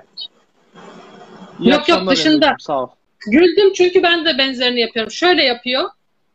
E yapıyor. Sonra şuraya. Şu ağız rim kısmına sürüyor. Biraz gecikmeli görüyorum Elif Hanım. Şimdi bir seri mesajlar geliyor bana. Bana da öyle oluyor. Ben, ben de aynı şekilde. kesik kesik oldu. Hepsi bir anda Ağızlık aktı ya. kısmının ağızlık kısmının temizliğini nasıl yapacağım bilmiyorum. Yani sonuçta nemleniyor. Bazıları alkol ile temizlenmesi gerekiyor falan doğru mu? Valla Önder Bey her içimden sonra ağızlığı alkol ile temizlemek çok gereksiz olur. Açık söylemek Çok gerekirse. yanlış olur. Yani 3 ay, 4 ay hatta bilemediniz 6 ayda bir yapılması bence daha iyidir. ben şahsen evde yaptığım zamanlarda şey kullanırım genelde. E, etil alkolü çok tavsiye ederler ama ben e, etil alkolün çok da böyle günlük kullanımda falan olması gerektiğini değil. Valla ben kendim şahsen viski sevmem ama benim şu anda bile evimde 5 sene önce aldığım markete gidip alkol oranı en yüksek viskiyi satın almıştım. Ben viskiyle temizliyorum şeylerin içini temizleyeceğim zaman. O da dediğim gibi şeydir. İlk önce sert olan temizleme çubuğunun ucunu batırıp yani bu e, çubuk temiz çıkana kadar yapıyorum. Yani çubuğu çektiğiniz zaman kahverengi nikotin gelmeyecek kadar üstünde yapıyorum. Daha sonra da bir iki kere bu yumuşak olanla içinde kalan alkolü alıyorum. Çünkü ebonit ağızlıklarda alkol bırakırsanız içeride oksitlenmeye sebep olur. Kötü tat gelir. O yüzden yani dediğim gibi 4-5 ayda bir eğer etil alkol bulabiliyorsanız onunla yapın. Olmadı viski, vodka, alkol oranı yüksek olan şeylerle de olur. Hatta ya ben viskinin içimini sevmem ama pipoda temizlik yaptıktan sonra kendine hoş bir aroma bıraktığını da düşünüyorum. Birkaç içip geliyor öyle bir şeyler. Polisaj malzemesi olarak ne kullanıyorsunuz diye sormuş Berkay Bey. Berkay Bey 3 tane polisaj malzemesi var. Bunların e, üçü de ülkemizde bulunabiliyor. Bunlardan bir tanesi kahverengi renkte olan Tripoli diye geçer. Menzenga diye bir markanın şeyi. Benim elimin altında yok ama Elif Hanım'da vardır. Belki ben polisaj makinesini annemlerin evine taşıdıktan sonra e, onları da oraya götürdüm. İkincisi e, White Diamond, beyaz e, e, elmas denilen bir malzeme. Onu da Menzanla üretiyor. Üçüncü olarak da şey saf karnoba cilası. Standart olarak bunlar. Bu malzemeler alternatif olarak bir kuyumcu mağazasına giderseniz ben de oradan alıyorum onları. Hatta adresini de verebilirim. Yani e, bu içinde nargileci olan medresenin adı neydi unuttum şimdi. Şeyde Mahmut Paşa Çorlu, bir şey taraflarında. e, çor, çor, Ha Çorumlu bilmem ha, ne aynen öyle. Çorlulu Ali Paşa şimdi hatırladım. Çorlulu doğru. Ali Paşa Medresi. Onun orada böyle kuyumcu malzemeleri satan çok yer vardır. Hangisine girerseniz girin. Onların elinde keçe de vardır. Bu benim bahsettiğim biraz evvel gösterdiğim masaüstü polisaj malzemesi de şey motoru da vardır. Her şeyi vardır. Onlara bir de alternatif olarak şey var. E, Rouge diye bir marka var. Bunun e, Red Rouge, Green Rouge, Blue Rouge diye şeyleri var. Bunlar da aynı işi görürler de. Ben yurt dışında gördüğüm ustalar bunu kullanıyor diye bunları almıştım. Yoksa diğerlerinden de var. Çok bir şey fark edeceğini zannetmiyorum. Serzat Hiçbirini Bey, bulamayanlar- demiş ama yok ve Serzat Bey yazık olacak viski değil ya. En ucuz e, alkol oranı en yüksek viskiden al- alıyoruz. Öyle yazık olacak bir viski değil. Siz daha iyi bilirsiniz viski işte. hiçbirini bulamazsanız e, gidiyorsunuz e, Bauhaus'da böyle bir set alıyorsunuz. Şu kahverengi olan Tripoli. Bu da White Diamond'ın yerine geçer Ebonet için ama White Diamond'ın olayı White Diamond'ı mesela bazen ahşaba da kullanıyorlar e, şeylerden sonra cila işlerinden sonra daha da parlasın diye. Bu ahşaba olmaz. Bu ebonit akrilik için e, mavi olan. E, bu da yine aynı şekilde ebonit ve akrilik. e, bu daha kalın, bu daha ince. Bununla ön pastayı yapıyorsunuz. Bununla da cilalamayı yapıyorsunuz. Ardından da karnabua mumla kaplıyorsunuz. Arkadaşlar bir de şu var. Bu karnabuanın yok erimişi, yok e, kremi, yok sürülebi. Bunlar e, yalan dolan demek istemiyorum ama şöyle bir şey var. Karnabuanın olayı e, bu bir mum. Hani mumluyorsunuz esasen. Mumladığınızda da Tam olarak söylemek gerekirse Elif Hanım, e, karnobanın kullanım amacı aslında e, malzemenin havayla temasını kesmektir. Aynen öyle. Korumak. Bütün olay o Parlatmak- aslında yani. Parlatmak evet, ve değil aslında. göstermek değil. Şu Aslında onu da o görev, o parlaklığını- fonksiyon da var tabii ama ya esas Var. amaç aslında havayla teması kesmek. Aynen. White Diamond'la zaten işlemi bitirdiğinizde karnabağ sürülmüş gibi cayır cayır parlıyor zaten. Karnabağı tekrar üzerine sürüyor olmanızın sebebi üzerine bir mum tabakasıyla kaplamak. Bunu eritip bunun üzerine sürmeye kalkarsanız o mum kaplama olayı olmuyor. Çünkü bu nane sürüldüğünde nasıl biz daha yumuşak bir mumu sürüyoruz ve üzerine katman olarak geçiyor. Bu da daha sert bir mum. Üzerine sürüldüğünde katman olarak geçiyor. Bunun yumuşatılmışıyla yani işte içerisine bal mumu vesaire eklenip sürülebilir hale getirilmişiyle aynı sonucu almanız mümkün değil. Parlatma yapmaz. Ama şunu yapar bu, koruyucudur. Oksitlenmeyi yavaşlatır. Yani mesela böyle bir şey alıp e, sürülebilir, parmakla sürülebilir versiyonda tabii ki düzgün bir markadan lütfen nerede üretildiği belli olan bir markadan evde bilmem ayakkabı cilasıyla onun bunun katılmış versiyonu değil ee, üzerini kaplayabilirsiniz. Oksitlenmeyi azaltır. Bal mumu kaplayabilir misiniz? Evet ama bal mumunun yanma derecesi çok düşüktür. Bunun içim sırasında ısınınca bile tekrar şey yapar ve koku bırakır bal mumu. O yüzden bal mumunu tavsiye etmiyoruz. Ee, sadece böyle sert karnabağ mumuyla koruma işini yapabilirsiniz. Böldüm pardon. Estağfurullah yok ben bitirmiştim zaten Ben ve bir şeye de cevap verelim Elif Hanım. yapıyorum. Siz söyledikçe Sağ ol, gösteriyorum. tabii, Şimdi şeyle ilgili de soru görmüştüm bugün ben şeye siteye baktığım zaman. E, reamer'larla ilgili soru vardı hangisini kullanalım diye. e, açılır kapanır sabiti bilmem nesi falan filan diye çeşitleri var bunların. Şimdi bende bunların ikisi de var. Bu o bahsedilen set şey yaptığınız zaman genişliyor. Çevirdiğiniz zaman daralıyor. Ben bunu kullandım ama bundan açıkçası söylemek gerekirse ben iyi randıman alamadım. Hiç kimseye tavsiye etmem bu açılır kapanırı. Bir de şöyle bir set var. Bunun her yerde görmüşsünüzdür büyük ihtimalle. Dört tane bıçak. Şurada bir de sapı olması lazım ama bu sapı çok adi malzemeden, plastikten yapıyorlar. Bir 6-7 şey sonra kırılıyor. Onun yerine şunları cırcırlı şeyle e, pense gibi bir şeyle kullanıyorum. Valla bunu ben yani uzun zamandır kullanıyorum. Çok şiddetli tavsiye ederim bunu herkese. Ve açıkça söylemek gerekirse bu şeyden benim elimde yok ama bu kontrol de ettim. Pipo markette satılıyor. Fiyatı da 120 lira. E, açık söylemek gerekirse şu anda yurt dışı fiyatlarıyla karşılaştırdığım zaman da 120 lira bunun için çok iyi fiyattır. İhtiyacı olan oradan alsın şimdi derim yani. Bir ömür kullanırsınız. Bence en iyi ürün budur yani Pipo şeyi olarak. Burada büyük şey olarak işte 18, 17, 18, 19, 20'lik 21'lik artık ona tekabül edecek ölçülerde vardır. Hemen hemen bütün pipolara uyar bunlar yani. En iyi ürün budur pipe reaming açısından. Ama tabii reaming de yani ne sıklıkla ihtiyacınız olacak onu da göz önünde bulundurun yani. Ben aşağı yukarı yani yani en yakın pipoma bir senede bir kere falan yapıyorum yani öyle dediğim gibi 2-3 içimde bir 4-5 içimde bir kullanılacak bir şey değil açıkçası yani. Ben nasıl yapıyorum? Parmağıma e, zımpara kağıdını doluyorum. Doğru bir şey değil.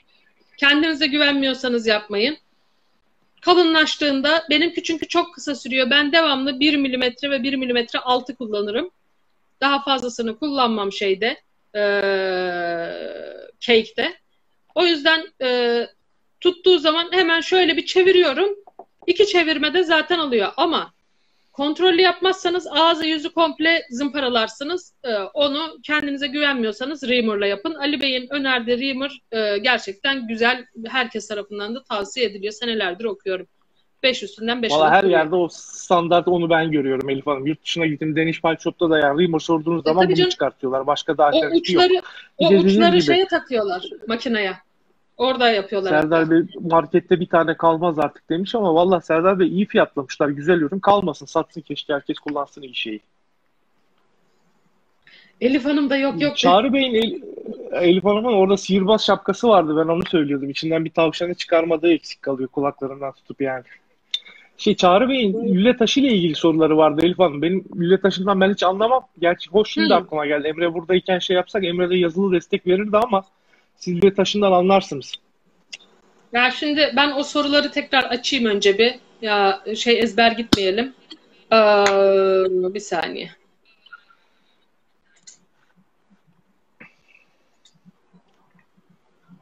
Şimdi ben de açtım. Günlük bakım ve aylık bakımda yapılması gereken aylık bakımın önemi. Bu soruya cevap verdik herhalde. Dış temizliğinde dikkat edilmesi gerekenler, kullanılabilecek malzemeler. Ondan sonra lö taşı kısmına geçmiş. Daha fazla kir tutmakta. Suya karşı hassasiyetini biliyorum ama nemli pamuk bezle siliyorum demiş. Farklı temizlik yöntemi var mı? Islak temizlik havlularından kullandım. Neyse ki pişman olacak bir durum yaşamadım demiş. Siz önce ondan başlayın. Ben diğer sorulara göz atarım Evet, siz şimdi verirken. ıslak temizlik havlularını ben okuyunca bir ıı oldum. Bu arada e, şey de e, yani mesela demin Ali Bey bu arada yanlış ya da doğru vesaire değil. Bu işte e, herkesin kendi düşünce şeysi. E, ben mesela e, öldürseniz Nivea'yı buraya çıkartır çıkartmaz umurumda değil sürmem. Ama mesela Ali Bey bundan iyi sonuç almış. Ben ne yapıyorum mesela o durum için? Hani bir daha söylüyorum bunlar da yanlış. Ha, çok falan pardon Elif Hanım orada bir yanlış. kesebilir miyim sizi? Elif Hanım Tabii, bir tabii. ufak keseceğim sizi. Şimdi ben iyi netice aldım diyorum ama şimdi benim polisaj makinem var. Ben bu bahsettiğim şeyleri kullanmayı Ha. bırakalı 2-3 sene oluyor. Yani şimdi Tamam. birinin polisaj makinesi varsa bu Ankara'da havacı var. Ben yani daha çok hani Aynen. evinde alet edevatı olmayan insana yardımcı olsun diye anlatıyorum bunları. Tabii, Yoksa tabii. ben Nivea'yı kullanmayalı 3 sene oldu yani. Tabii tabii. Ee, şimdi ben mesela nasıl çıkartıyorum? Ee, Allah'ın hiç de şu anda e, ağız kenarında şeyi olan e, bir e, pipo da yok yani bulsak da. İşte Hani en fazla budur. Krem olmayan bile- karnova nereden bulunabilir diye sormuş Murat Bey. Murat Bey buna bir bakmak lazım. Satan yerler vardı diye biliyorum ben. Ee, Bunlar Murat genelde Bey, aslında şey- büyük bloklar halinde satılır. Bunları eritip paylaşma da yapılabilir. Elif Hanım sizin var da öyle bir projeniz aslında. Alalım paylaşalım diye çok da isteyen vardı aslında. Ee, ve o isteyenlerin hiçbiri cevap vermedi. Biz o projeyi Hüseyin Yıldızlı ile beraber e, hayata geçirmek üzere adım attık, duyuru yaptık. İzmir'den falan filan da e, bir kişi bile yo yo yanlış olmasın Doruk Aygökçe cevap verdi. Ee, o öyle kaldı. Şöyle bir şey var. Şu an ülkemizde eskiden bunlar böyle blok halinde vardı. Böyle böyle parçalar halinde kırılmış olarak, iri olarak satılıyordu. Fakat bunun çok fazla kullanım yeri var. Bu rujda da kullanılıyor. Bu sakızda da çiğnediğiniz bütün sakızların üzerinde var. Yani bu bir parlatma ve koruma e, şeysi olduğu için, ürünü Marketten olduğu aldığınız için. elmaların da üstünde var. Aynen aynen. Bütün o elmaların vesairenin üstünde de var. Bu palm yağı dedikleri nane var ya işte aynı palm bitkisinin mum kısmı yani ağacın kabuğundan çıkan e, yanılmıyorsam mum kısmı bu. E, bunu şu anda pul olarak satıyorlar. Çünkü bunu bir daha eritmek, uğraşmak vesaire istemiyor işletmeler. Pul halinde alıyorlar ve de toz halinde alıyorlar. Pul olarak alıp tekrar ısıtıp kalıplıyoruz ve e, daha düzgün bir kalıp olarak şey yapılıyor. Satan yerde sabuncular satıyor şu anda. Sabuncularda e, bulabiliyoruz. Çünkü sabunların da parlatması için kullanılıyor. Parlatma gereken her yerde kullanılıyor.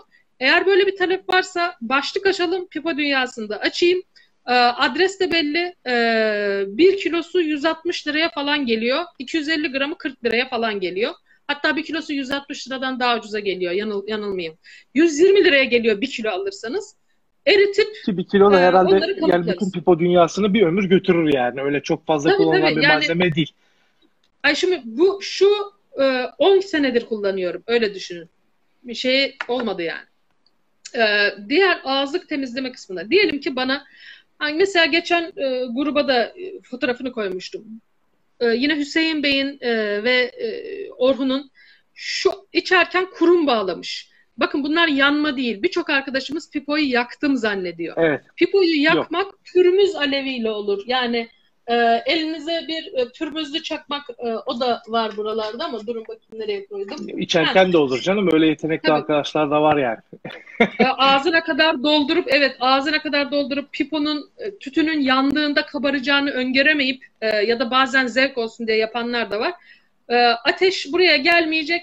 Bakın pürmüz denilen bazen bilmiyor arkadaşlar pürmüz nedir. Şu tip çakmakların adı pürmüz.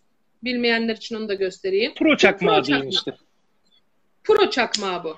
Bununla en hafif ateşte dahi olmaz bu. Bunu kullanmıyoruz. Bu pipo için ne tütünde ne şeyde uygun değil. Diyelim ki buraya içerken kurum oluştu zamanla. Çok sert bir kurumsa ben şöyle yapıyorum. Kürdan şöyle göstereyim. Kürdan heh, şöyle göstereyim. Kürdanı ucunu da kırın. Sivri kısmı şey olmasın. Getiriyorsunuz bastırmadan şöyle şöyle şöyle şöyle şöyle şöyle üzerinden geçiriyorsunuz. Kürdan komple o kurumu ağır olan kısmını bura- buraya alıyor. Daha sonra incelttikten sonra ben kendiminkileri tükürükleyip alıyorum. O gün arkadaşlarınkini kesinlikle tükürüklemedim. Akıllarında öyle bir şey kalmasın. Çok dilüye bir alkol yani böyle yüzde onluk falan e, içinde alkol olan suyla şöyle hızlıca alıp sildim. Anında da karna bağladım. E, böyle de temizleyebilirsiniz. Krem kısmı şundan dolayı ben çok önermiyorum. Ee, Nivea'nın kendine has kokusundan kurtulmak çok zor. Annem bazen sürüyor, öpüşüyoruz. Bir gün o Nivea ile dolaşıyorum yani. Çok fecaat oluyor. Ee, alkol kısmına da şöyle söyleyeceğim. Ee, şu benim bir ağız e, şeysiydi, spreyiydi. Ee, eczacı arkadaşlar Eyüp Bey şimdi hemen zaten tanır bunu. Ee, böyle bunların bir sprey şeyleri oluyor. Tantum, mantum vesaire. Bunun işi bittikten sonra içerisine o, oranlayıp ister %70'e dilüye edin, ister %96 size kalmış. Dolduruyorsunuz. Tabii bu arada bu cimrilik gerçekteyse bunu kullanıyorum. O da var bende evet. Çok işe Evet, yarayan bir şey var. gerçekten bunu kullanıyorum. 10 numaradır, 5 yıldızdır. Paramız yoksa bu, paramız varsa bu. Pipolarınız buna hakikaten değer. güzel. Yalnız onu e, piponun dış yüzeyine falan Ee, Hayır, hayır. sıçratmamaya dikkat edin. Boyayı kaldırır çünkü hakikaten kuvvetli bir şey o Üzerinde yani. detaylıca yazar arkadaşlar. Ee, akriliklerde dahi kullanmamaya özen gösterin diye. Ebonitte tercih edin diye. Akrilikte uzun süre kullanmayın hemen silin yazar. Ahşaba sakın değdirmeyin yazar. Bu bir solvent. Ee, bunu da e, şöyle bir avantajı oluyor. Hemen bir tane yapacağım göstereceğim. Ee, şey olan bir e, hatta Bruno buradaydı. Gelin Bruno'nunkine yapalım. o buradaydı ama gitmiştir herhalde. Uzun zamandır da temizlemedim. Hem de 3 milimetre. Şöyle ne oluyor? Görünüyor mu? Nasıl oluyor? İşte neyse. Ee, bu böyle fıs fıs içeriye doğru e, dağıtarak verdiği için şöyle ağzına denk getiriyorsunuz. Tamam mı? Güzel olan kısmı bu. Şöyle bir kere bastığınızda hatta iki kere elime bile geldi. Bütün boylu boyunca ağzına kadar gidiyor. Ardından ister bekleyin ister hemen bakın zaten koyu renk hemen çıktı. Şöyle bir kuruluyorsunuz. Bitti. Bu kadar. Tabii bu 30 kere kullandığınız pipo için geçerli değil. Temiz e, ya da işte ayda bir kere e, silmek istiyorsunuz o zaman. Ama çok uzun süredir temizlemediyseniz daha e, detaylı gerekecektir. Ali Bey'in anlattığının uygulaması gibi düşünün bunu. Şimdi neydi? E, lüle taşı. Lüle taşında e, o e, temizlik ıslak bebek havlusu yok bilmem ne Yani. e, bunları falan bunlar e, lütfen hiçbir pipoya bunu yaklaştırmayalım. Bunların içerisinde alkol olmadığı için devlet bunu yasakladığı için alkol haricinde çok garip temizlik malzemeleri oluyor. Evet bir sorun yaşamamış olabilirsiniz ama uzun süre kullanımda e, bunlar emici özellikle de e, lüle taşı emici malzeme. E, siz sildikçe üzerindeki mumunu da alıyorsunuz. E, yavaş yavaş absorbe et- etmeye başlar. O bir kerelikle kalsın bir daha kullanmayın. İçerisindeki malzemeler de emin olun grupta bir arkadaşımız bunu vaktiyle başka biri sormuştu ve yazmıştı. Ben bunun üretim işine girmiştim demişti. Elinizi bile silmeyin demişti. Ben de zaten masa silmek için kullanıyorum. Ee, ne yapıyoruz lüle taşında? Lüle taşında e, şöyle bir bir tane lüle taşı açalım. Şimdi bir, gümrük bakım, aylık bakım lüle taşında şöyle bir şey var. Lüle taşının içerisini ben cake tutturmuyorum. Tutturmamaya çalışın arkadaşlar. O bahsettiğimiz içine alma mevzusu Briar Pipo'da geçerli değil. Almıyorsunuz ama lüle taşında her işim sonrası şöyle bir peçeteyle almanızda fayda var. Neden? Almak zorunda değilsiniz. Bir, alırsanız dumanı daha rahat, daha hızlı çekiyor ve renk değişimi daha çabuk oluyor. Bu bir. İkincisi, çok kalın bir cake tabakası oluşursa lüle taşı Briar'dan daha fazla genleşip şey yaptığı için çatırt diye çatlama e, riski yaratmış oluyorsunuz. Bir tane pipomu aynen bu şekilde biraz da kötü bir taştı. Çatladı ve atmak zorunda kaldım. O zamandan beri hiçbir şekilde içerisine e, cake tabakası oluşturmamaya özen gösteriyorum. Cake tabakası mevzusunu her seferinde silerek atın derim. Ya da cake oluşacaksa da ince bir cake kalsın. Kalın hale gelmesin o cake. Hava yolu temizleme kısmı aynen Briar'daki gibidir. Ee, aynı Ali Bey'in anlattığı gibidir. Hiçbir fark yoktur. Yalnız temizlerken dikkat edin. Çizmemeye falan özen gösterin. Onun dışında bu naneyi kimisi eldivenle elinde tutar iz kalmasın diye. Neden? Onu da şöyle söyleyeyim. Elin pisliği buna geçtiği için falan değil. Üzeri bal mumu kaplı olduğu için sıcak içiyorsanız eğer parmak izi kalıyor. Bir pipomda var böyle. Bir tane parmak izim var. Bilerek yapmıştım onu. Kalsın bir tane diye. Parmak izi kalıyor. O da çok hoş olmuyor. Renk aldıkça o parmak izini görüyorsunuz. Ama o kadar detaylı bakmaya da gerek yok bence. Nasıl e, temizleyeceksiniz? Dışını temizlemeyeceksiniz. Dışını kağıtla silebilirsiniz. Bir bezle silebilirsiniz. Gözlük şeysiyle silebilirsiniz. Bunları hep anlattık. Gözlük şeysiyle silebilirsiniz içimden sonra. Ama bence ona da gerek yok. Bırakın e, soğusun. Soğuduktan sonra iç temizliğini, çubuk geçirmeyi yapın kenara koyun. İçim sıklığına bağlı olarak birkaç ayda bir, bazen senede bir bal mumu kaplaması yapmak isteyebilirsiniz tekrar. Birinci seçenek her zaman için ustaya göndermek olsun. Mesela Emre falan, Taha hiç bunlarla uğraşmazlar. Aman Emre nereden çıktı? Fatih, Taha falan hiç bunlarla uğraşmazlar. Toplu halde pipolarını Emre'ye gönderiyorlar. Emre onlara tekrar bal mumu kaplaması yapıyor, geri gönderiyor. Ee, aldığınız al en temizi. Aldığınız ustaya geri gönderebilirsiniz ya da e, bu size şey gelmiyorsa e, bir tane pipo için değer mi diyorsanız 3-5 arkadaş birleşip gönderebilirsiniz. En son çare evde ne yapacaksınız? Evde şunu yapacaksınız. Gidiyorsunuz aktardan halis bal mumu alıyorsunuz. Ama şurada baştan söyleyeyim. Ee, Eskişehir'de ustalar halis bal mumu kullanmıyorlar. Parafinli bal mumu kullanıyorlar. Çünkü daha beyaz e, gösteriyor. Halis bal mumuyla kapladığınızda kaplama sonrası sarı bir görünüm oluşuyor. Sapsarı oluyor. O sapsarı görünüm sizi korkutmasın. İki gün sonra ya da bazen bir gün sonra ya da güneşe direkt bırakırsanız tekrar bembeyaz oluyor. Ama ben halis balmumu kaplamayı tercih ediyorum. Çünkü halis balmumuyla renk değişiminin çok daha hızlı olduğunu gördüm. Fakat satan arkadaşlar bunu halis balmumuyla kapladıkları zaman insanlar onlara bu niye sarı diye soruyorlar. Onlar da biraz parafinli versiyon kullanmayı, bazen başka renkler katmayı falan filan tercih ediyorlar. Bunda da bir zarar yok. Ama burada asıl önemli olan içtikçe bal mumunun hızlı eriyen bir malzeme olması, uçucu olması ya da işte absorbe edilmesi, e, bu rengi taşıması vesaire zaman içerisinde yenile, yinelemek gerekiyor. E, ben bunu çok kullanmadığım için yineleyemedim çünkü e, çok sevdiğim bir olmasına rağmen ev ardı görüyorsunuz. Yani e, olmuyor, kullanamıyorsunuz. E, tavsiyem bal mumu kaplamasını yapacaksanız, e, kendiniz yapacaksanız e, halis bal mumu almanız. Halis bal mumu aldıktan sonra böyle şişe tıpası alıyorsunuz. Ağzına uyacak büyüklükte. E, ağzını kapatıyorsunuz. Arka şenki iyice tıkıyorsunuz ve e, öyle daldırıyorsunuz. Kesinlikle içerisine, hazne içerisine bal mumu kaçmaması gerekiyor. Çok iyi kapattığınızdan emin olun.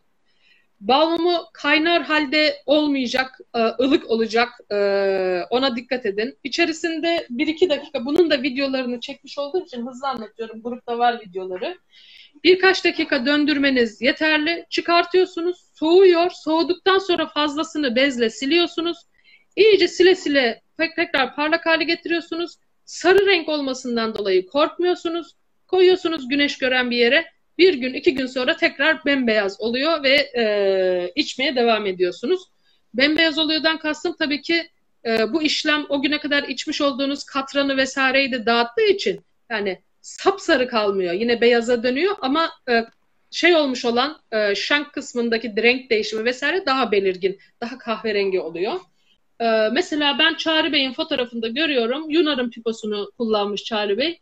Ee, Yunar pipolarında genelde e, o parafinli e, tercih eder. Biraz fazla da parafin olduğu için çok hızlı onun şeysi uçuyor ve böyle mat bir görünüm oluyor. Buradaki de çok parlak değil, mat bir görünüm. Siz şimdi bunu içiyorsunuz, içiyorsunuz, içiyorsunuz. Renk değişimi çok yavaş gerçekleşiyordur. Söylediğim işlemi yaptırır ya da yaparsanız daha hızlı rengin yayıldığını göreceksiniz. Son bir malzeme daha denemedim. Deneyen e, ecnebi arkadaşların yorumlarını çok okudum. Bulduğum anda deneyeceğim. Çünkü safını bulmak gerekiyor. Jojoba yağı e, sürülüyor üzerine. E, pipo soğukken ve emmesi bekleniyor. E, emdikten sonra normal içmeye devam ediyorsunuz. Jojoba yağının safı biraz pahalı. Türkiye'de de bir yerde bulabildim. E, onu bir ara e, isteteceğim, alacağım.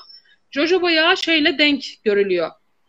E, spermeçet balinasının e, kafa yağının eskiden e, hem mum yapımında hem de e, Avusturya dönemi e, lüle taşlarında mumlama için onu kullanırlarmış. Bu spermeçet balinası bizde kaşalot diye geçen balinanın kafası e, daha derine dalabilmek için e, akışkan bir e, şeyi var içerisinde. Öldürüp hayvanı onu kullanırlarmış. Yasaklandığı için artık kullanılmıyor. Aynı zamanda makine yağı olarak da kullanılırmış. Ee, şimdi jojoba yağı kullanıyorlar e, bu tip gerekli yerlerde. E, artı saç kremi vesaire olarak da.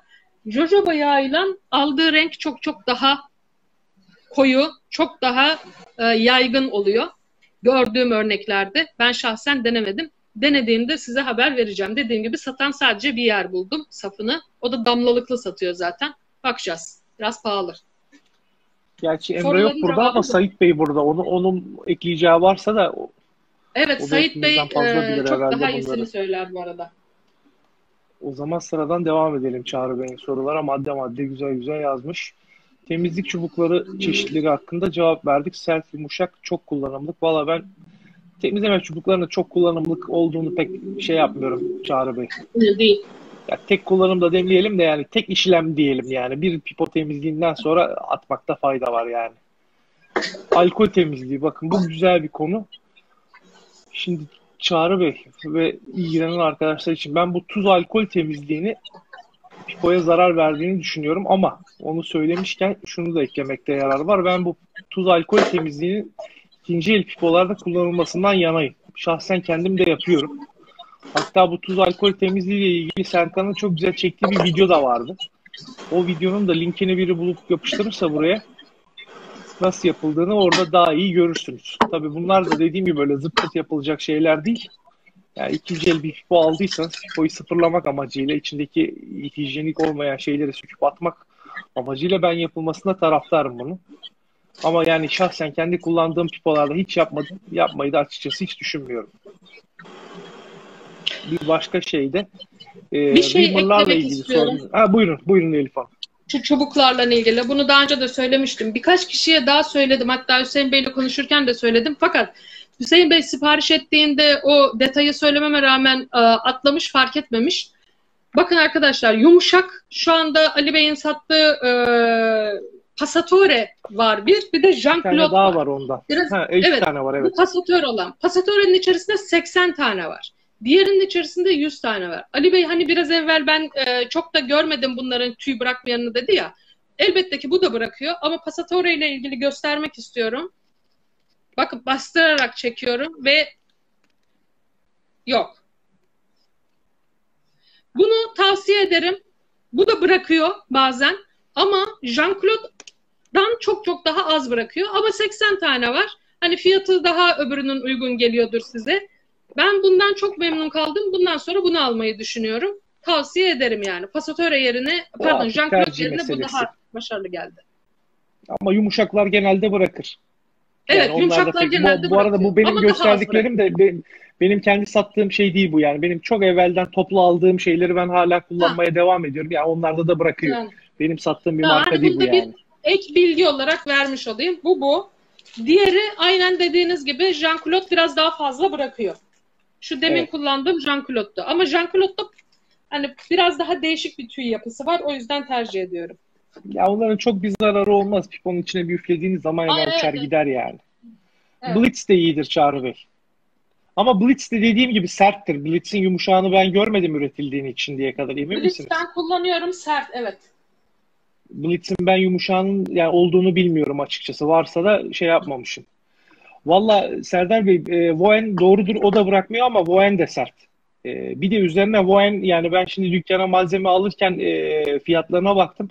Yani Voen çok iyi ürün üretiyor. Ben dışarıda e, Pipo dükkanı sahibi olan dostlarıma da danıştığım zaman Voen ürünlerini çok e, tavsiye ediyorlar. Fakat Voen ürünleri çok pahalı. Yani ben o yüzden tercih etmedim açıkçası. Çünkü ben burada oturup millete e, 100 tane pipo temizleme çubuğunu 20 liraya satarken Voen'i niye 35 liraya sattığımı açıklama mesajlarına cevap vermekle uğraşmak istemediğim için getirmedim. Aynen onlardan bahsediyoruz Çağrı Bey. E, yani materyali daha sert, bu tırtıklı gibi. Yani genellikle bu sert olanla çiftli, çift renk yaparlar. Bunlar daha Evet. böyle ele geldiği zaman biraz daha tırtıklı olur. Bunlar daha böyle Şu da aynısının- yumuşak hasar vermez. Jean-Claude'u ben Wowen'i de kullanıyorum. Jean-Claude'u da kullanıyorum. Wowen bu Jean-Claude'un sert olanından bir tık daha sert. Ee, onu ancak akrilik için tavsiye ederim. Ee, Ebonit'in içini çizik çizik edebiliyor. Valla iyidir yani ben Voen ürünlerine kötü söyleyecek bir şeyim yok. Ben İyi de- olduklarını aynen, ben de çok güzel. Ama çok pahalı satıyorlar hakikaten yani orada artık Ben marka şeyi mi şöyle kalitesi söyleyeyim. mi bilemiyorum. Ben size şöyle söyleyeyim. 35 liradan 30 liraya indiler bana Wowen ee, temizleme çubuğunda. mavi beyaz E olanlarda. yine En yüzde yüzde elli fiyat farkı var Elif Hanım 20 lira 30 lira Evet. yani hani şimdi Aynen. biri niye 20 lira biri niye 30 lira onu ya bin tane mesaj Evet. gelecek gerek yok yani onu izahla uğraşmak hangisi tırtıklı değil ha Blitz'ten bahsediyorsunuz valla ben hiç görmedim Çağrı Bey bir bakarım bir daha ya yani o sert malzeme olmayan Blitz ben daha önce hiç görmedim varsa benim haberim yok yani ama genel olarak Blitz çok iyi markadır. O konuda şey yapıyorum. O da iyidir yani. Ama Voen kadar iyi değildir. Voen en iyisi onların içerisinde.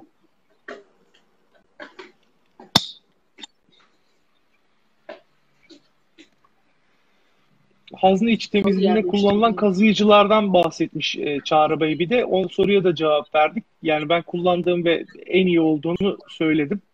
Getirin Çağrı Bey görelim vallahi merak ettim açıkçası. Bu arada Sonucu e, çok şunları değiştirir mi bu farklar demiş. Değiştirir Çağrı Bey. Özellikle şu benim yayının başında gösterdiğim şu e, açılır kapanır yani iyi netice vermiyor. Şuradaki şu kavislerin falan filan böyle her şeyde e, olmadığı e, çok ben iyi netice alamadım açıkçası yani hani kötü ürün demeyeceğim ama ben daha ziyade yani şu standart bıçakları tercih ediyorum kullanmakta. Bunlar hemen hemen e, pipoların %99'unda kullanabilirsiniz desem yanlış olmaz. Niye %99 diyorum? Benim istisnasını yaşadığım tek marka Peder Jeppesen. Peder Jeppesen'in kullandığı çanak bıçakları standart bıçaklar değil. Kendisi yapmış o bıçakları. Onlar için ayrıca bir bıçağı da kendi satıyor. Öyle çok pahalı bir şey değil ama e, değişik yani. O yüzden %99'unda aynı e, bu Reamer seti sizin işinizi görür.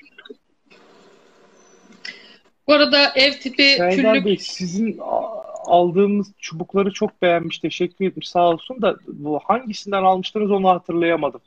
Sert olanından mı yumuşak olanından mı çıkaramadım vallahi şimdi.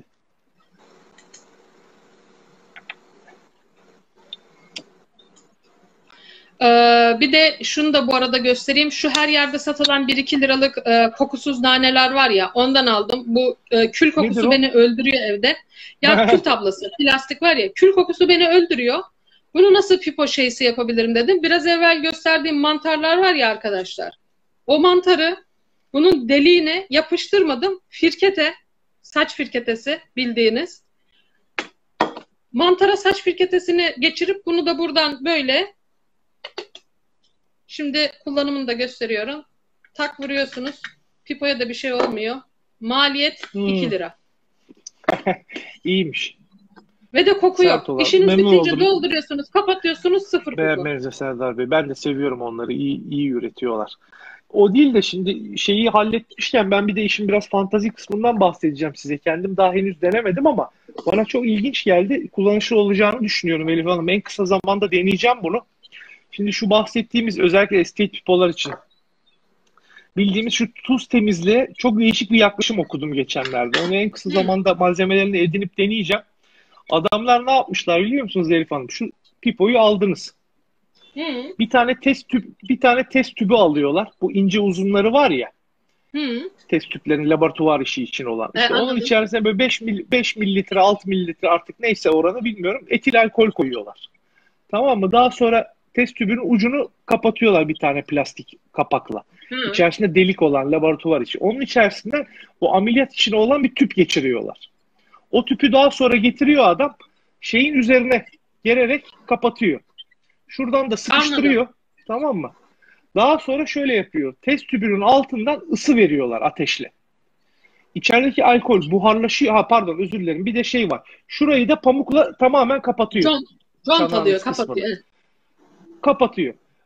Alkol ısındığı zaman buharlaşıyor, direkt piponun içine doluyor. Tamam mı? Ve bunun daha sonra altından ateşi çektiğiniz zaman o artık reaksiyon alkol soğuduğu zaman olduğu gibi sıvı bir şekilde geriye geliyor. Fakat geriye gelirken içerideki o birikmiş alkol mü istersiniz, o mu istersiniz, bu mu istersiniz, ne var ne yok söküp atıp aşağıya hepsini beraber çekiyor. Çıkarttığınız Düzenine zaman pırıl pırıl çıkıyor pipo. Hı. Ya maliyetlerine baktım. Yaklaşık böyle 20 liraya falan mal olacak bir düzenek aslında bunu kurmak. Yemin ediyorum ya polisaj makineleri falan dünya para. Harcadığınız alkole değmez. O temizleme çubuklarının paketleri paket paket gidiyor o içerisini temiz çıkarana kadar yani. Evet. Ben size Ya söyleyeyim en nereden bulunur. zamanda denemek istiyorum. Fındıkzade Karagül Fındıkzade Karagül İş Merkezi. Alt kat. Öyle mi? Ben bilmiyorum. Hatta gidelim ben beraber. baktım. Gidelim, Beni orada, man- gidelim beni orada manyak diye tanırlar yani. Oradan Öyle. çok vakti Hatta zamanında bir kahve de yaparız onun. Ama bana çok mantıklı geldi bu şey yani. Tek sıkıntısı şey onu artık ben herhalde yani denedikten sonra bir 5-6 tane pipoda denemek istiyorum öncelikle. Tek e, takıldığım nokta şey şimdi alkolün buharlaşma derecesi kaç onu bilmiyorum ezberden. Şu şeyin ebonitin içinden geçerken ısı ebonite zarar verir mi ya da yumuşamasına sebep olur mu? Bir Ya adamlar şey yapmam yaptıysa lazım. Adamlar bunu Ya zaten adamlar denediyse yaptı dediğim yani senin benim dediğim gibi adamlar işte yani yaptım olducu yani göreceğiz neticesini yani anladım. denemeden şeyini bilmiyorum. Yani bu sadece bana hani okudum yapanlar var tavsiye ediliyor. Amerika'da bir forumlarda gördüm. Yani bana mantıklı geldi işte en aşağı bir 4-5 kere denemeden de şey yapmak istemiyorum. Bir şey demek istemiyorum ama e, temizleme çubuklarıyla içeride haldır haldır e, saatlerle oturup yani eski pipo temizlediğinizi hiç bilmiyorum ama ya ciddi ciddi yani böyle bir yarım paket temizleme çubuğuyla 2 saat vakit gidiyor onu temiz çıkarana kadar. Temizledim, Özellikle temizledim. Maalesef Emre'nin piposunu temizledim.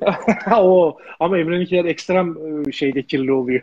Günde günde 8 dolum yapan Emre'nin e, piposunu temizledim. E, elimde de Tamam, hala bir zirveye, tane zirveye gitmişsiniz. Savinelli otograf temizliyorum şimdi. E, ağ- ağ- ağla- ağlarsınız demiyorum. Ben ağlıyorum zaten. Sinirlenip arada bir bırakıyorum. Ben alayım yeter diyorsunuz yani. Hmm. Bak Serdar Bey güzel bir soru sormuş. Acılık katkı veren maddesinden bahsetmiş. Evet Serdar Bey fakat bunun Çok önünde doğru. e, etrafından dolanabilirsiniz. İnternette etil alkol diye yazdığınız zaman böyle e, üretim yapan etil alkolcüler var. Ben alıyorum onlardan. Valla fiyatını şimdi hatırlamıyorum. Litresi 30 lira mıydı, 40 lira mıydı, neydi bilmiyorum ama bunların içine o söylediğiniz malzemeden katılmamış olanlar bunlar. Evet. Hatta şurada yakınlarda bir yerde de olması lazım. İzmir'de- Şeyi de gösterebilirim. İzmir'de gırla var. İzmir'de hangi tekel bayine giriyorsanız Serdar Bey ağzına kadar dolu. Ben hani orayı engelleyebileceklerini hiç zannetmiyorum. Ee, yani İzmir'den çok rahat getirtirsiniz. Manisa'dan Bak falan. işte. Manisa Evet. Görüntü ters Ma- herhalde. Neva etil alkol evsel kullanım amaçlı tarımsal kökenli etil alkol. Hacmen %96 %96 alkol ihtiva eder. Ben bunu kullandım. 4 şişe almıştım bundan. Kargo ile yolluyorlar. Valla ben memnun da kaldım açıkçası ama şeyi de söylemek lazım tabii. Ee, bu gelen alkoller genelde %90 küsür e, şeylerde. Bunları birazcık suyla dilute ediyor. etmek lazım. Ben yaklaşık %70 oranına e, denk getiriyorum bunları. %96 kullanırsa temizlemez. Çok fazla e, sert oluyor. Onlar pek bir işe yaramıyor açıkçası. %70 civarında bir sertliğe getirmek daha ideal oluyor temizlik için. Rica ederiz. Bu arada şu demin siz şeyi anlattınız. Ben mesela bu polisaj malzemelerini nasıl kullanıyor arkadaşlar? Onu da e, söyleyeyim.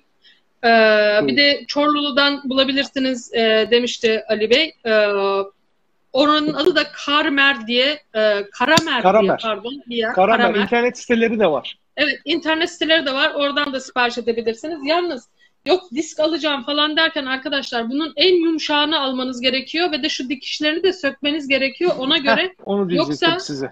bunu İzmir'de toplantıda Yalçın Bey e, anlatmıştı Hakan Cangir'le beraber. Başlarına gelmiş. Büyük bir hevesli daha hiç kimseye hiçbir şey yok. Hazır. O pipo dünyası falan hiçbir şey bilmiyorlar. Pipoya da yeni başlamışlar. Bunu da temizleyeceğiz falan böyle izlemişler. E, her türlü malzemeyi de almışlar. İkisi de zaten çok yetenekli arkadaşlar. E, normalde bunların hepsini kendileri yapıyorlar.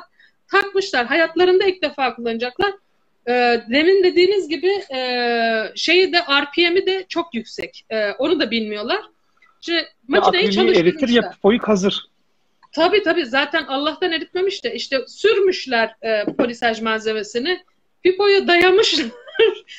bir bakmışlar olduğu gibi üzerindeki bütün cila o bu ne varsa hepsi gitmiş. Ödleri patlamış. Tabii. Şimdi bunu biraz yumuşatabilmek için hani sonra da bize bunları anlattınız. Biz bunu yaptık. Başımıza bu geldi olmasın. O bilgiyi de ekstra vereyim. Şu dikişlerini eğer şey yaptıysanız kendinizin Sökmek hazırladığı bir diskiyse sökmeniz lazım. Pamuklu olması lazım. Keçe değil. Keçeyi kullanırsanız aynı şekilde yani keçe zımpara gibi yapıyor. Ee, devir düşük olması lazım. Nasıl kullanıyorsunuz? Ee, ya bu arada mesela diğerlerini pahalı buldunuz manzernayı ya da 4-5 kişi bir araya gelip alırsanız ucuz olur. Ama şeyse bu Dialux'ünkiler ucuz bunu kullanabilirsiniz ama Manzarna ile kıyas kabul etmez öyle söyleyeyim. Bunlar daha ziyade Onlardan var metal ben de hiç kullanmadım ama. Yani e, güzel Onun çok ama rengi var bir de. Hangi rengi olduğunu bakmak lazım. Yeşili, mavisi, sarısı bir her tek rengi var. onun. mavisi Hep- bir tek mavisi ve beyazı. Bunun kırmızısı olmaz. Hı. Bunun kırmızısı tripoli değil. Bunun kırmızısı gümüş Anladım. parlatma. Ee, ve altın parlatma. Hiç Kırmızısı kullanmadım olmaz. onlardan ben. Evet. Ee, bunun kahverengisi var. Bunun kahverengisini alabilirsiniz. Çok daha büyük.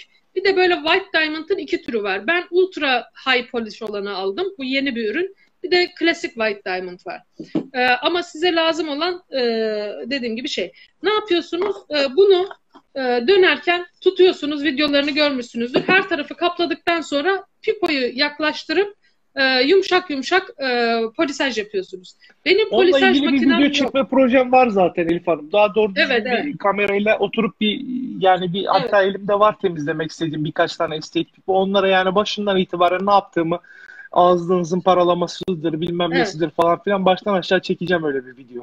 Benim polisaj malzemem, pardon makinem yok, ben nasıl yapacağım falan derseniz eee, bazen de ben üşeniyorum falan. Eee, matkap ucuna küçük, eee, bunların çok küçüklerini de satıyor Karamer. Matkap ucuna takmak için, dremele falan takmak için.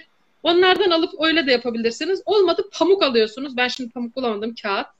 Eee, pamuk alıyorsunuz. Pamuğa böyle güzelce sürüyorsunuz tamam mı? İyice yediriyorsunuz pamuğa. Bir katman üzerinde oluyor.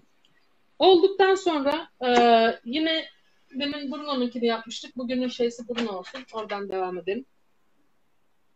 E, yine parlak ama başlıyorsunuz sürmeye ama çok hızlı bir şekilde.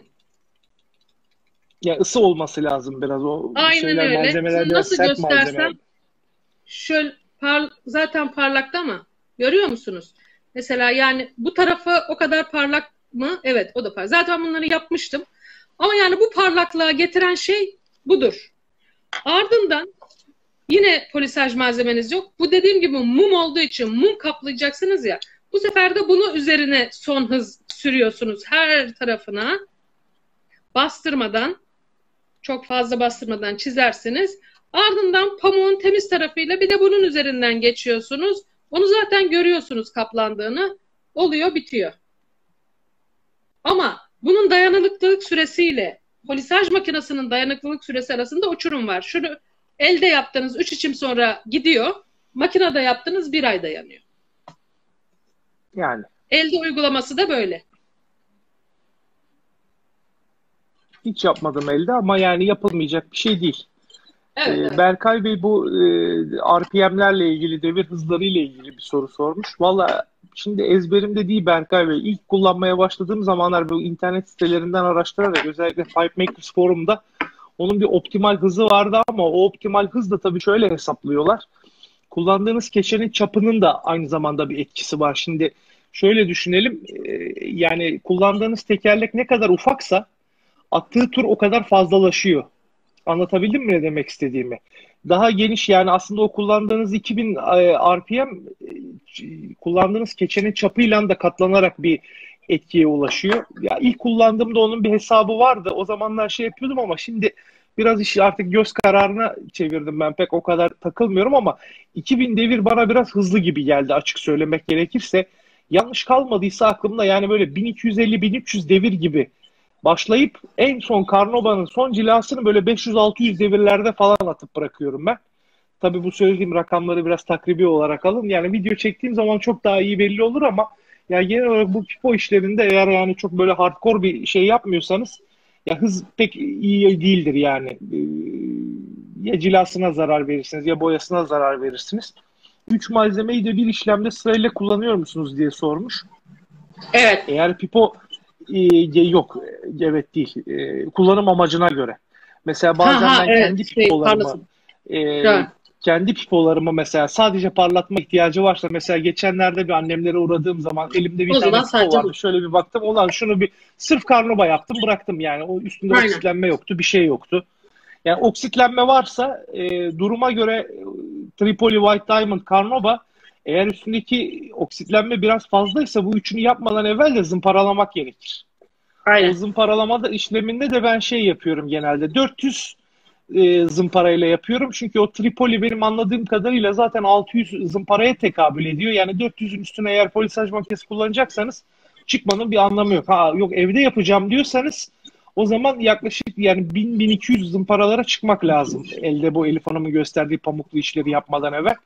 Çünkü o e, Tripoli pamukla falan o polisajın yapacağı işi yapamaz. Polisaj çünkü sırf parlatma değil, çizik giderme işlemini de yapıyor aynı zamanda. Ee, evet bu arada yani mesela onu da söyleyeyim Orhun ve e, Hüseyin Yıldızlı'nın pipolarının tamamı 1200 ile önce 600 ile çünkü onlar maalesef e, kendileri bir denemek istemişler. Arkadaşlar bir de şunu Hı. da söyleyeyim. Ee, önce bir yerde deneyin. Ee, pipoyu e, pipoyu da piponun üzerinde başlamadan evvel önce bir yerde deneyin. Zımpara şöyle yapılır. Bize de hep okulda e, tasarım derslerinde anlatırlardı. Zımpara şöyle yapılır. Ustalara da bakın. Acele edilmez. Cacacacacıt değil. Son derece yanlış hareketler onlar. Koyarsın. Devamlı aynı yöne. Devamlı aynı yöne. Şöyle böyle şöyle böyle zımpara yok. Yuvarlak zımpara yapacaksanız devamlı yuvarlak. Sağa sola ise sağa sola. ileri geri ise ileri geri. Yani bir öyle bir öyle bir öyle yapamazsınız. Yaparsanız o zaman çizik içerisinde bırakırsınız. O çizikleri temizlemek için de tekrar zımpara yapmak zorunda kalırsınız. Ben 600'le başlayıp 1200'e geçip ardından e, Tripoli, White Diamond ve Carnauba ile bitirdim arkadaşlarınkini. Şöyle de bir şey 600'den var. Araya bir katman daha koysanız daha iyi netice alırsınız Elif Hanım. 600'den Vallahi 1200'e evet, e, fazla. Orada evet orada onu da şöyle 600, çözdüm Ali 800, Bey. 1000, 1200 gibi gitmek lazım. Evet 800 olmadığı için elimde onu da şöyle çözdüm. 600'le girdikten sonra e, su artı 600 yaptım. Bunlar su zımparası biliyorsunuz. Su Hmm. işin içerisine gelince 100-200 daha incelttiği için e, suyla devam ettim. Sonra 1200'de bütün çiziklerin bitmiş Tamam. e, versiyona geçtim. Şimdi şöyle bir şey var halleri gayet arkadaşlar. güzeldi zaten. Evet evet. Şöyle bir şey var arkadaşlar. Bunu göstereyim. Şu bit dediğimiz uç olan kısım var ya. Buralara girmeyin. Gözünüzü seveyim. Gerekiyorsa kahverengi kalsın. Bunlara ustadan başka kimse girmesin. Siz bunlara girmeyin. Bunlara girip haşat ederseniz bunu düzeltmek mümkün değil. Biti mahvedersiniz. Orası kahverengi kalsın istiyorsa ben bile cesaret edemiyorum. Ben bile değil ben cesaret edemiyorum yani. Ee, bu kadar basit. Ee, Kendiminkilerde de kahverengi kalsın önemli değil. Bozulursa düzeltmesi en zor yer. O zaman bu sefer gidip kıl eye ince almanız lazım. Onu öğrenmeniz lazım vesaire vesaire. Oraları çok rahatsız oluyorsanız ustaya götürün. Ya en başından zaten ustaya götürseler daha iyi netice alırlar da orayı da yapmanın bir metodu var yani videoda gösteririm onu. Evet. Hasar Evet, vermeden yapmanın bir şeyi var. Hı hı. Yani basit aletlerle halledebiliyorsunuz o işleri. Ya genel olarak ben şey kullanırım zımpara yaparken özellikle ağızlığın bit kısmına geldiği zaman bu e, şeyler var ya siz de çok gösteriyorsunuz hani e, tırnak Ha, törpüleri hani Tırnak dört taraflı. törpüleri. Fakat ben Evet, onların evet. onu kullanmıyorum ama. Ben onun sadece şeyini kullanıyorum. Onlar böyle bir hafif süngerimtırak bir malzemeden yapılmış ya. Evet süngerini kullanıyorsunuz. Anladım. Ve onların yan yüzeyleri şeydir. Yan yüzey. e, kesmez. Ben onun Hı hı. altına yapıştırıyorum zımparayı. Onu kullanıyorsunuz. Şeye çarptığı zaman, bite çarptığı zaman o kısım boş olduğu için bir zarar vermez. O ince yerlere girerken. Şu. Hemen çıkıyormuş sihirbaz şapkasından. Ne diyorsunuz? Gerçek ameliyat için e, ameliyat makasım var. Lazım olsun. Kurşun çıkarırız diye. Şu. Amazing Shine'ın e, şu ben de dediğiniz gibi kullandığım O değil bendeki. değişik. Ha, bunların versiyonları, uzunları da var. Uzunları da var. Şuralarda bir yerlerde vardır elimin altında benim. Genelde İşte- bulundururum ben hep böyle. Birkaç marka oluyor. Bu şimdi Ali Bey de gösterir. Biraz Ha. ekran ters görünüyor ama şurası 1200'den de ince arkadaşlar. Onu söyleyeyim. Bu e, zımparadan ziyade parlatma için, tırnak parlatma için ama e, aynı şekilde şey de parlatıyor. Elif Hanım. Ondan da var bende. İşte Dört Ali Bey şey yanlarını işte. vesaire yapın. Hı hı. E, bunun Yanları şu kısmı bunların Ali Bey'deki kesmediği için. Evet Çarpmasında kesmiyor. problem. Bunun daha inceleri de var bende. Esas onları Ben de- kullanıyorum. Bunlar başka bir amaç için kullanıyorum Evet, da. o kenara denk gelen kısım bu sünger olan kısım. O dörtlü olan da çok güzel. Bundan bulursanız bu da çok güzel. Bu bu ekstra e, shine gibi bir şey diye düşünün. Yani bunu e, direkt karnabua ile parlatmışsınız gibi bir parlaklık veriyor bunun sünger tarafı.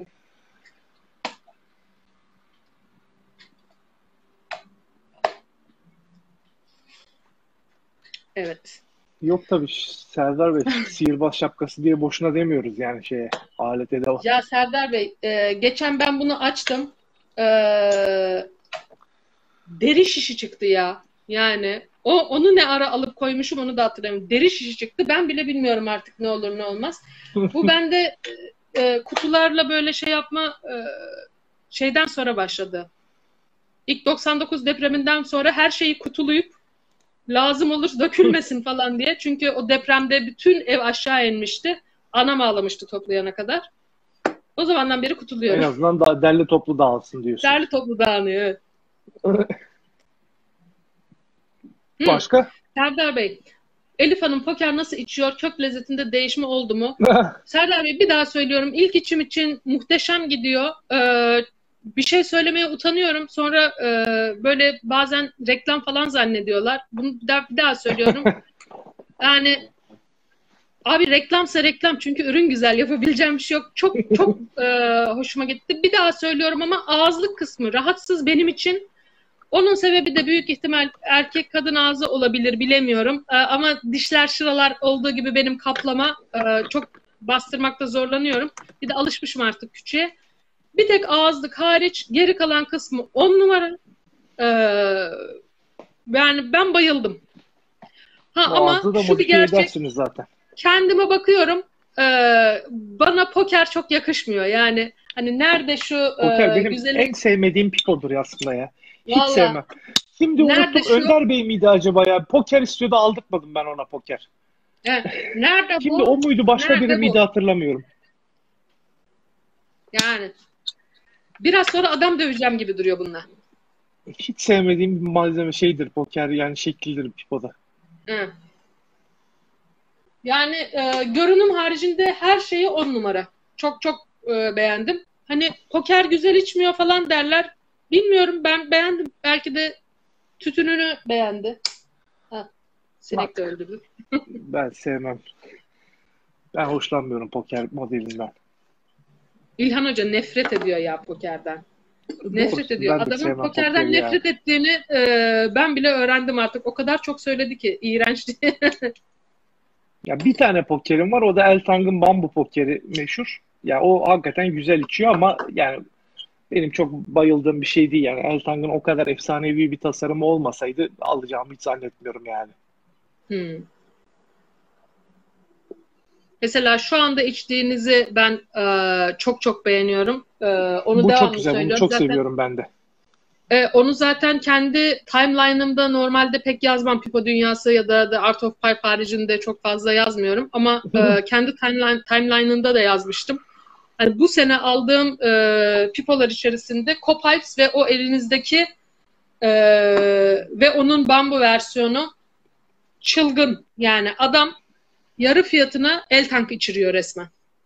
Ee, Copiles'da görüşeceğiz yalnız ya bir bu, bugün bir şey oldu benim yarın değil de ondan sonraki gün bir yurt dışına çıkmam gerekecek. Hamburg'da bir işim vardı da şeylerden öğrendim tesadüf konuşurken. Ayın 5'inde Almanya'da bir yerde bir fu- fuarı varmış. Ona da vakit bulabilirsem uğrayacağım. Co-Pipes'larla konuştum. Onlar da gidiyorlarmış oraya. Gidersem göreceğim onları da. he. Vallahi süper olur. Bu, bu Süngerli hafta bu zımparalar hafta da var. Onları yani. da kullanabilirsiniz. Pozisyon malzemesi satan yerlerde bulunuyor. Ali Sami Bey, süngerli zımparaları kesinlikle tavsiye etmiyorum. Süngerli zımparalar e, ahşap ve metal için, ahşap için de bile, ahşap için bile değil. Onlar su zımparası esasen.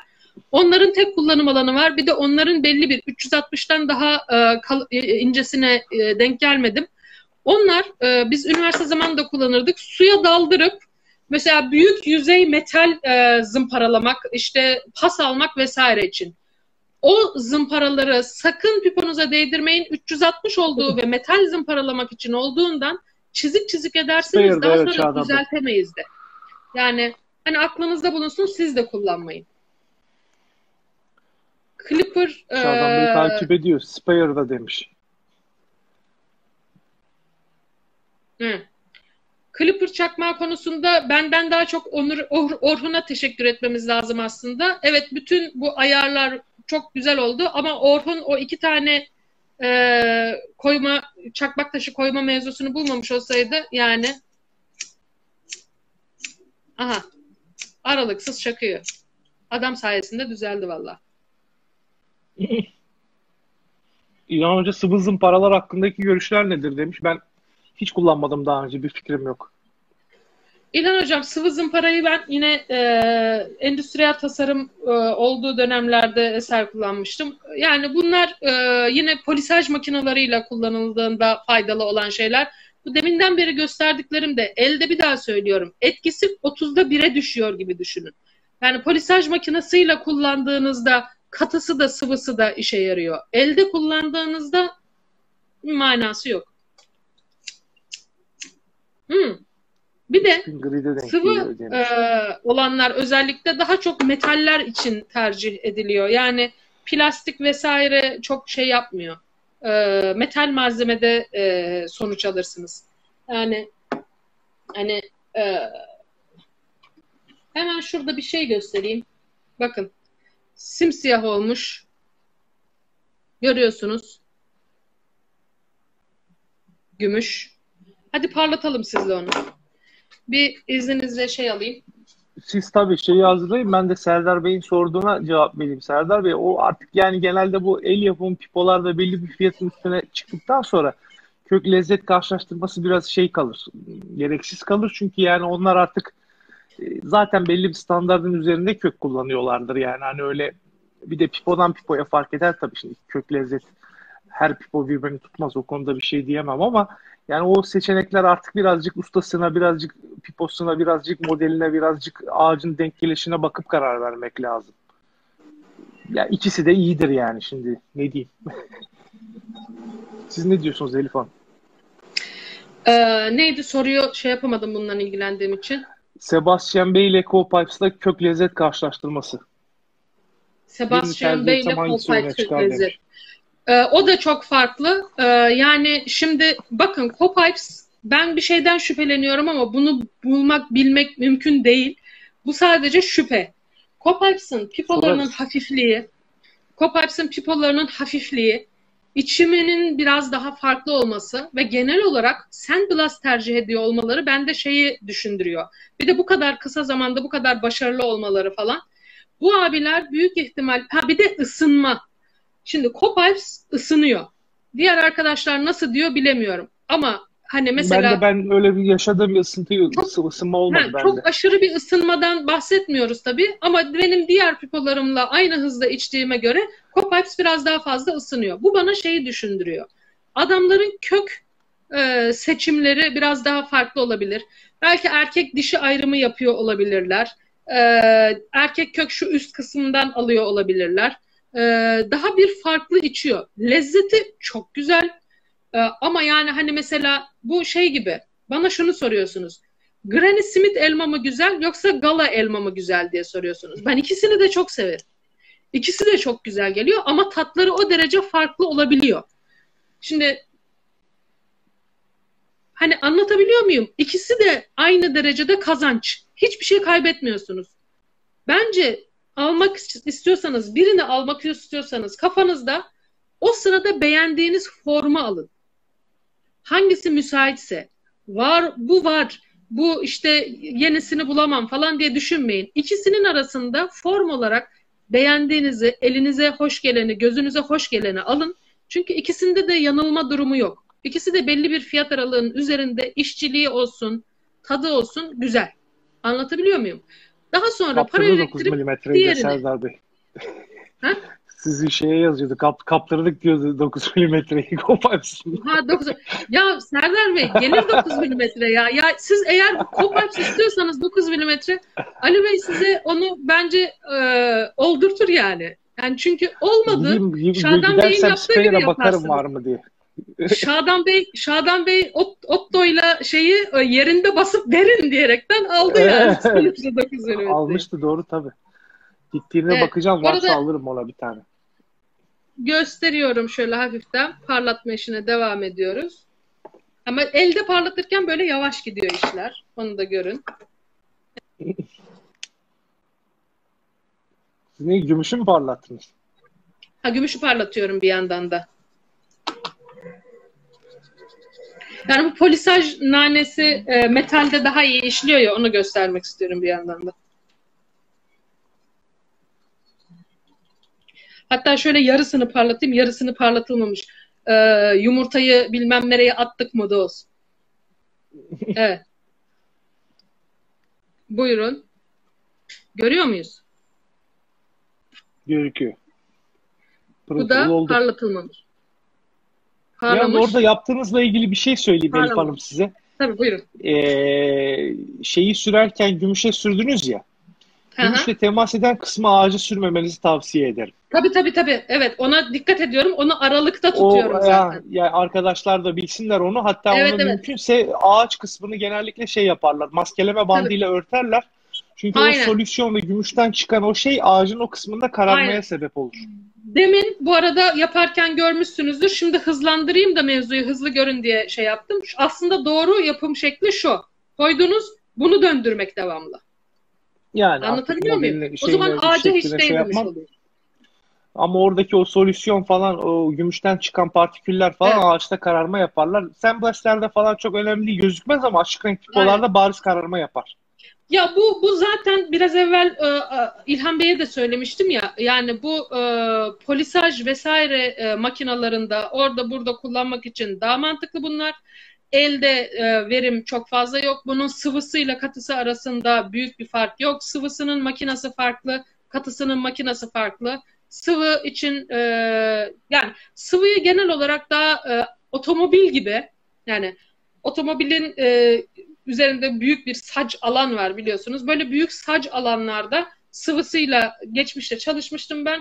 Çok çok başarılı, çok rahat. Ne yapacaksınız? Bunu yedirip de otomobilin üzerine zar zar zar zar uğraşacak mısınız? Sıvıyı döküyorsunuz.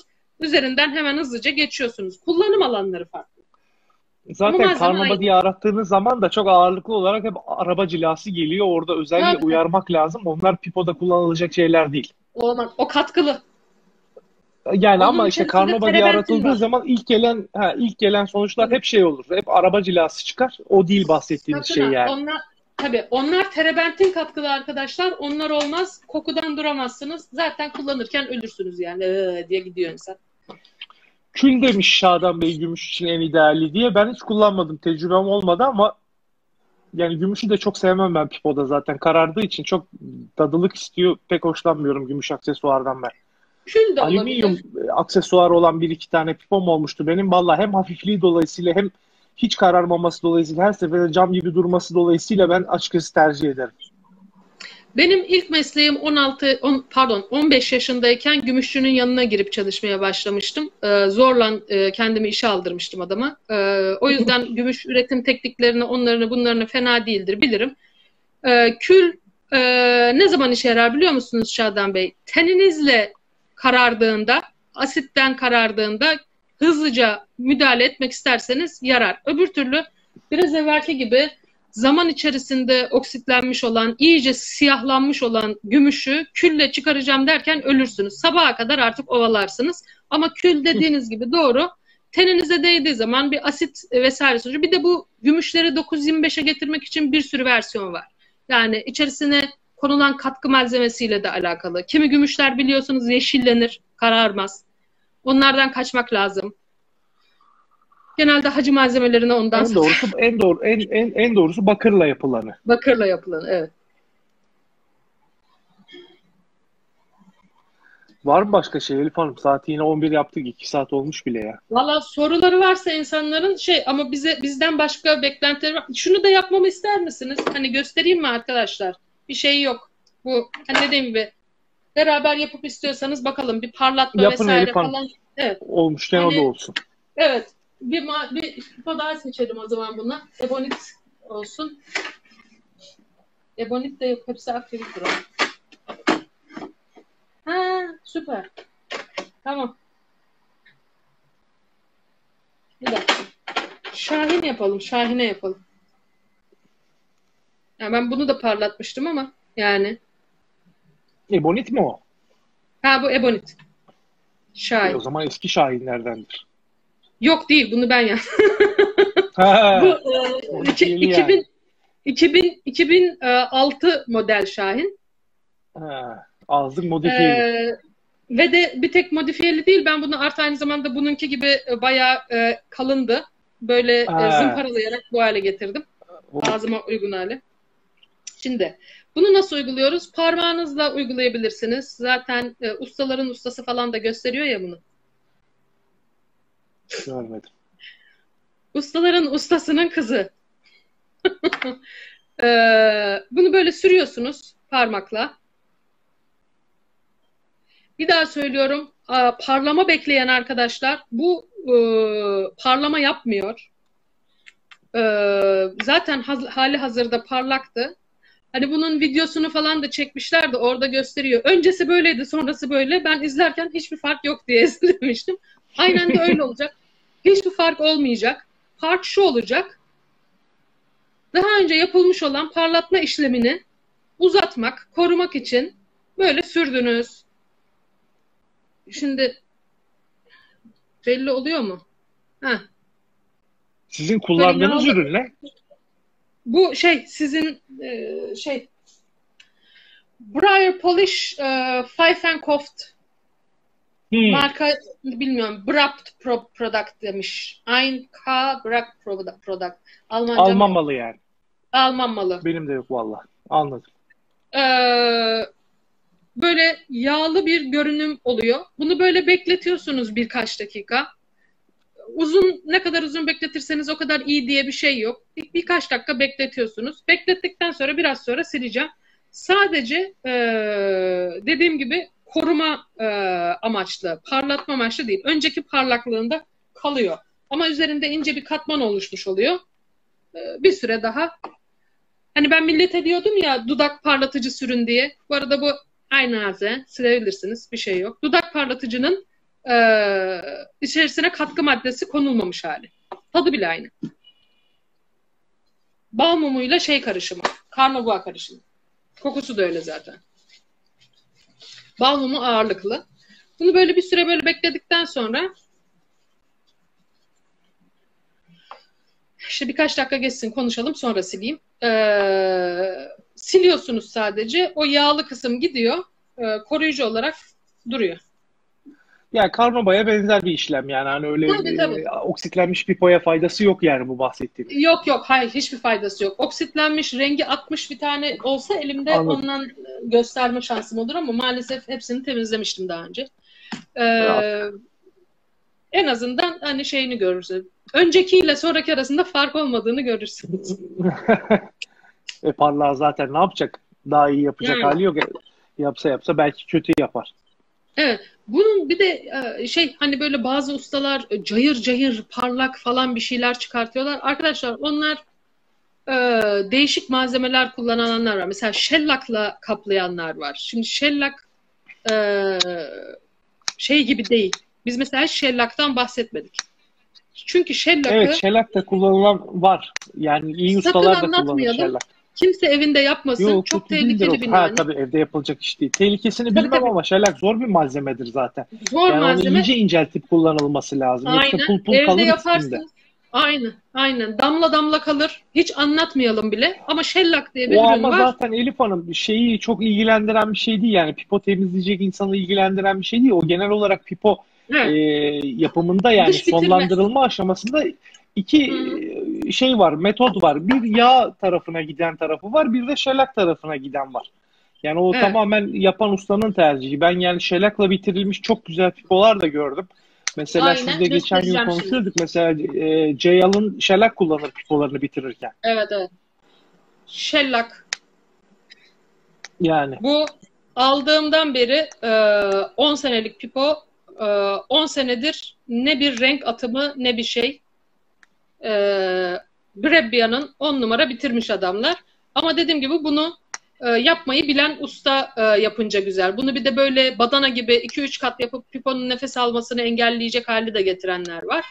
E, bunu Ya yapmayı evet bilenler. öyle aslında bir bilgi bilgi yanlışlığı var aslında. Bu şelak çok ağırlıklı olarak gitar üretiminde kullanılan bir şey. Evet, evet. Yani ben eksper değilim, uzman değilim, kimya mühendisi hiç değilim. Yani o konuda bir şey Evet. demem ama e, yani ben şahsi bilgim açısından ben Pipo'nun yanında bir de eski dolma kalem koleksiyonum da vardır benim. Mesela orada şelak tamamen e, sıvı ve hava geçişini engellemek amaçlı kullanılan bir şey. Çok kullanılır dolma eski dolma kalemlerde özellikle şelak. Valla Pipo'da nefes alır falan filan diye bir bilgi dolanıyor ortalıkta. Şahsen yani hani e, öyle olmadığını iddia etmeyeceğim ama yani benim bildiğim şeyler öyle nefes alan falan bir malzeme ben öyle bilmiyorum şeyler. Şeyler Değil, tamamen değil. yani havayı engellemesiyle Aynen öyle. ben bilirim. Katman gibi oturur üstüne yani nefes aldığı iddiası var. Ben açıkçası öyle bir yani plastiğe bitarak bir malzemenin ya da pul pul dökülebilen bir malzemenin çok nefes aldığını açıkçası pek inanmıyorum Ya yani. Zaten hava almasın diye kullanılan bir malzeme. İtalyan Yani. ustaların bayıldığı bir malzemedir şey olarak mobilyacıların. E, lake görüntüsü vermek için hatta kullanırlar onu. E, Olabilir. böyle e, şey gibi lamine edilmiş gibi. Eski İtalyan mobilyalarını hatırlayan var mıdır bilmiyorum. E, çoğumuz artık Yok. iki ay yaşında çocuklar ama e, eskiden mobilyacıları dolaştığınız zaman e, üst katta kendi yaptıkları kopyalar alt kata indirirlerdi sizi e, esas malzemeyi görmeye. Ve çılgın e, parlatılmış inanılmaz egzotik malzemelerle İtalyan e, mobilyaları olurdu eskiden. Şimdi hiç yok. Eski Türk filmlerinde falan görürsünüz onları. Vallahi görsek de ama ben şahsen pek anlayacağımı zannetmiyorum. Ben en son bir tane şey de görmüştüm. Bağdat Caddesi'nde bir e, eski e, mobilyalar satan, e, yenileyip bir abi vardı. Sonra kapandı galiba orası ama. Yani. Soru ve başka herhalde artık izleyen de Artık kalmadı. pek bir şey Saat- kalmadı. Artık bundan sonra şeyinde görüşürüz Elif Hanım. 13'ünde bekliyoruz. 13'ünde görüşürüz. 13'ünde hı. Serdar Bey, ciladan cilaya değişiyor. Mum olanlar o kadar değil. Bunlar mumlar zaten geçirgen. Yani üzerinden bunun akıp giden cilalar hava akışını pek kesiyor diyemeyiz. Bir de bu hava akışı mevzusuna Bunlar da açık konuşmak ısıyla, gerekirse ısıyla erir de bir de. Evet evet. Açıkça konuşmak gerekirse elimdeki en iyi içen bakın geçen şey yaptım yekün çıkardım söylemeyeyim artık işte şeysini sayısını görüyorsunuz benim hepimiz görelim diye koyuyorum. Ee, Pislik olsun diye koymuyorum o fotoğrafları. Ben çok keyif alıyorum başkalarının pipolarını izlemekten. Aynı keyfi başkaları da alır diye koyuyorum ben pipoları. Yoksa hepsini kapatabilirim de yani Ee, bir şey yok ortada. Ben bunu aldım derdinde değilim yani. Ee, oradaki o kadar piponun içerisinde biraz evvel gösterdiğim o şellaklı e, Brebbiye her zaman ilk ondadır. Hatta her zaman ilk beştedir. Çok güzel içer. İşte ben sorun morun yaşamadım. Hava alsın almasın belli bir noktadan sonra insan umursamıyor yani. Almıyorsa da ne yapayım? Abdullah Bey güzel bir soru sordu aslında. Sorunun şeyinde çok e, her zaman saat yönüne doğru çevirmek hiçbir şey fark ettirmez Abdullah Bey. Ne yöne çevirirseniz çevirin de orada sadece şeye çok dikkat edin. Ağızlı sıcakken çıkarmayın pipoyu. Soğumasını Hı. bekleyin öyle çıkartın ağızlı. Çünkü oradaki o tenon kısmı sıcakken çıkarıp bir anda soğuk havayla temas ya da ısı değişikliğiyle temas ettiği zaman genleşme veya e, kasılma yapar. Daha sonra gevşeme veya sıkışmaya sebep olur. O yüzden her zaman pipo soğuduktan sonra ağzını çıkartmaya gayret edin. Ha tabii bir kere çıkartırsanız hemen bir şey olmaz ama yani ben söylemiş olayım sıkıntı yaşayabilirsiniz yani. Şeyi de Arkadaşlar söyleyeyim bu arada o soran olmadı ama bununla alakalı sıkışan piponuzu zorlamayın. Buzdolabının en alt e, gözünde 15 dakika bekletip çıkartın tık diye çıkar yerinden. E, bu malzemeler soğuduğu zaman daralıp ısındığı zaman genişleyen malzemeler. aynen. Aynı şekilde gevşek olanı da biraz ısıtıp yerine takarsanız e, o gevşeme de gider yerinden. Bakın mesela ben size gevşemeyen ya da e, soğu- soğuduğunda, sıcaklaştığında problem yaratacak emici olmayan bir malzeme söyleyeyim. Boynuz. Boynuzlu pipolara çok dikkat etmek gerekiyor. Biraz kelime oyunu gibi oldu ama yani boynuzun mesela boynuz eğer buraya takılıysa, şanka takılıysa ileriye dönük problem yaratabiliyor. Kullandıkça çünkü e, ahşap işlemeye devam ediyor, boynuz işlemeye devam etmiyor. Boynuz işlemediği için, boynuz kuruduğu zaman işliyor. Yalan da olmasın. Boynuz da işliyor aslında ama kurumaya tam kuru bir boynuz değilse kuruduğu zaman e, değişim oluyor. Ama ahşap daha hızlı genleşip küçüldüğü, genleşip küçüldüğü için boynuz malzemelerde problem yaşayabilirsiniz. Bir de boynuzun emiciliği yoktur. Boynuz e, Hiç tecrübem olmadı vallahi. ıslak bırakır. O sıcaklıkları da ölçmek için bunu da aldım. E, iç, iç ısısını ve e, şenk ısısını da ölçüp sizlere yakında daha gerçekçi Anladım. bilgiler vereceğim. Bilim, bilimsele geçiş yapıyoruz yani. Bilimsele Kuant- geçiş yapacağız. yakında. geçiyoruz. Tabii, tabii, bu soruların hepsini cevaplayacağız yani. Cevaplanmamış soru kalmayacak. Şaka bir yana bunu ben Hüsnü için aldım. Hüsnü bunları Öyle mi? merak ediyordu. Isısı nedir, odur falan diye aylar evvel. Hmm. Görünce kaptım hemen. Hüsnü'ye bildireceğim yakında. Hayırlısı diyelim. Evet dediğim gibi artık bundan sonra ayın 13'ünde gelenleri bekleriz. Ben önümüzdeki hafta yurt dışındayım. Ondan sonraki hafta gelir gelmez de şu ofisi biraz toparlayıp o günü hazırlayacağız. Ondan sonra da artık 13'ünde gelenleri bekleriz. Başka bir şey kaldı mı Elif Hanım? İki buçuk Valla saate benim geçiş aklımda başka yapıyoruz bir şey yavaş yok. yavaş. Arkadaşlara çok teşekkürler. Bugün e, çok güzel bugün sorular bayağı sordular. interaktif oldu ya. Ya iyi bu oldu. soru Konuyu kısmı iyi seçtiniz. E, Valla bu soru kısmı e, bence e, onların soru sormaları bizi çok yönlendiriyor. E, yani bizim önceden bir konu seçmemiz değil de yani konuyu seçmek de tamam okey ama onlar soru sordukça daha iyi şey yapabiliyoruz. O yüzden katılımları için çok teşekkür ediyorum. Sizlerin de Evet, ellerine sağlık. Sizlerin de sohbet. kollarına sağlık. Sağ olun arkadaşlar. Sağ olun. Vallahi bir şey yoksa o zaman yavaş yavaş kapatıyoruz. Serdar Bey teşekkür Hı. etmiş. Biz teşekkür ederiz. Çağrı Bey. Yalnız bu arada Mustafa bitmedi bir türlü. Serdar Bey'e e, buradan onun geri bildirimini yapayım. Serdar Bey daha burada en az yarım saatlik var ha.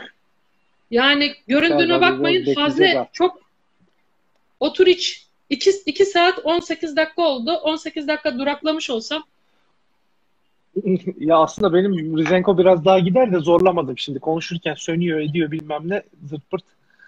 dolu Daha daha ya. sakin zamanda. Dediğim gibi geceler ayın herkese. 13'ünde konuşuruz gerisini.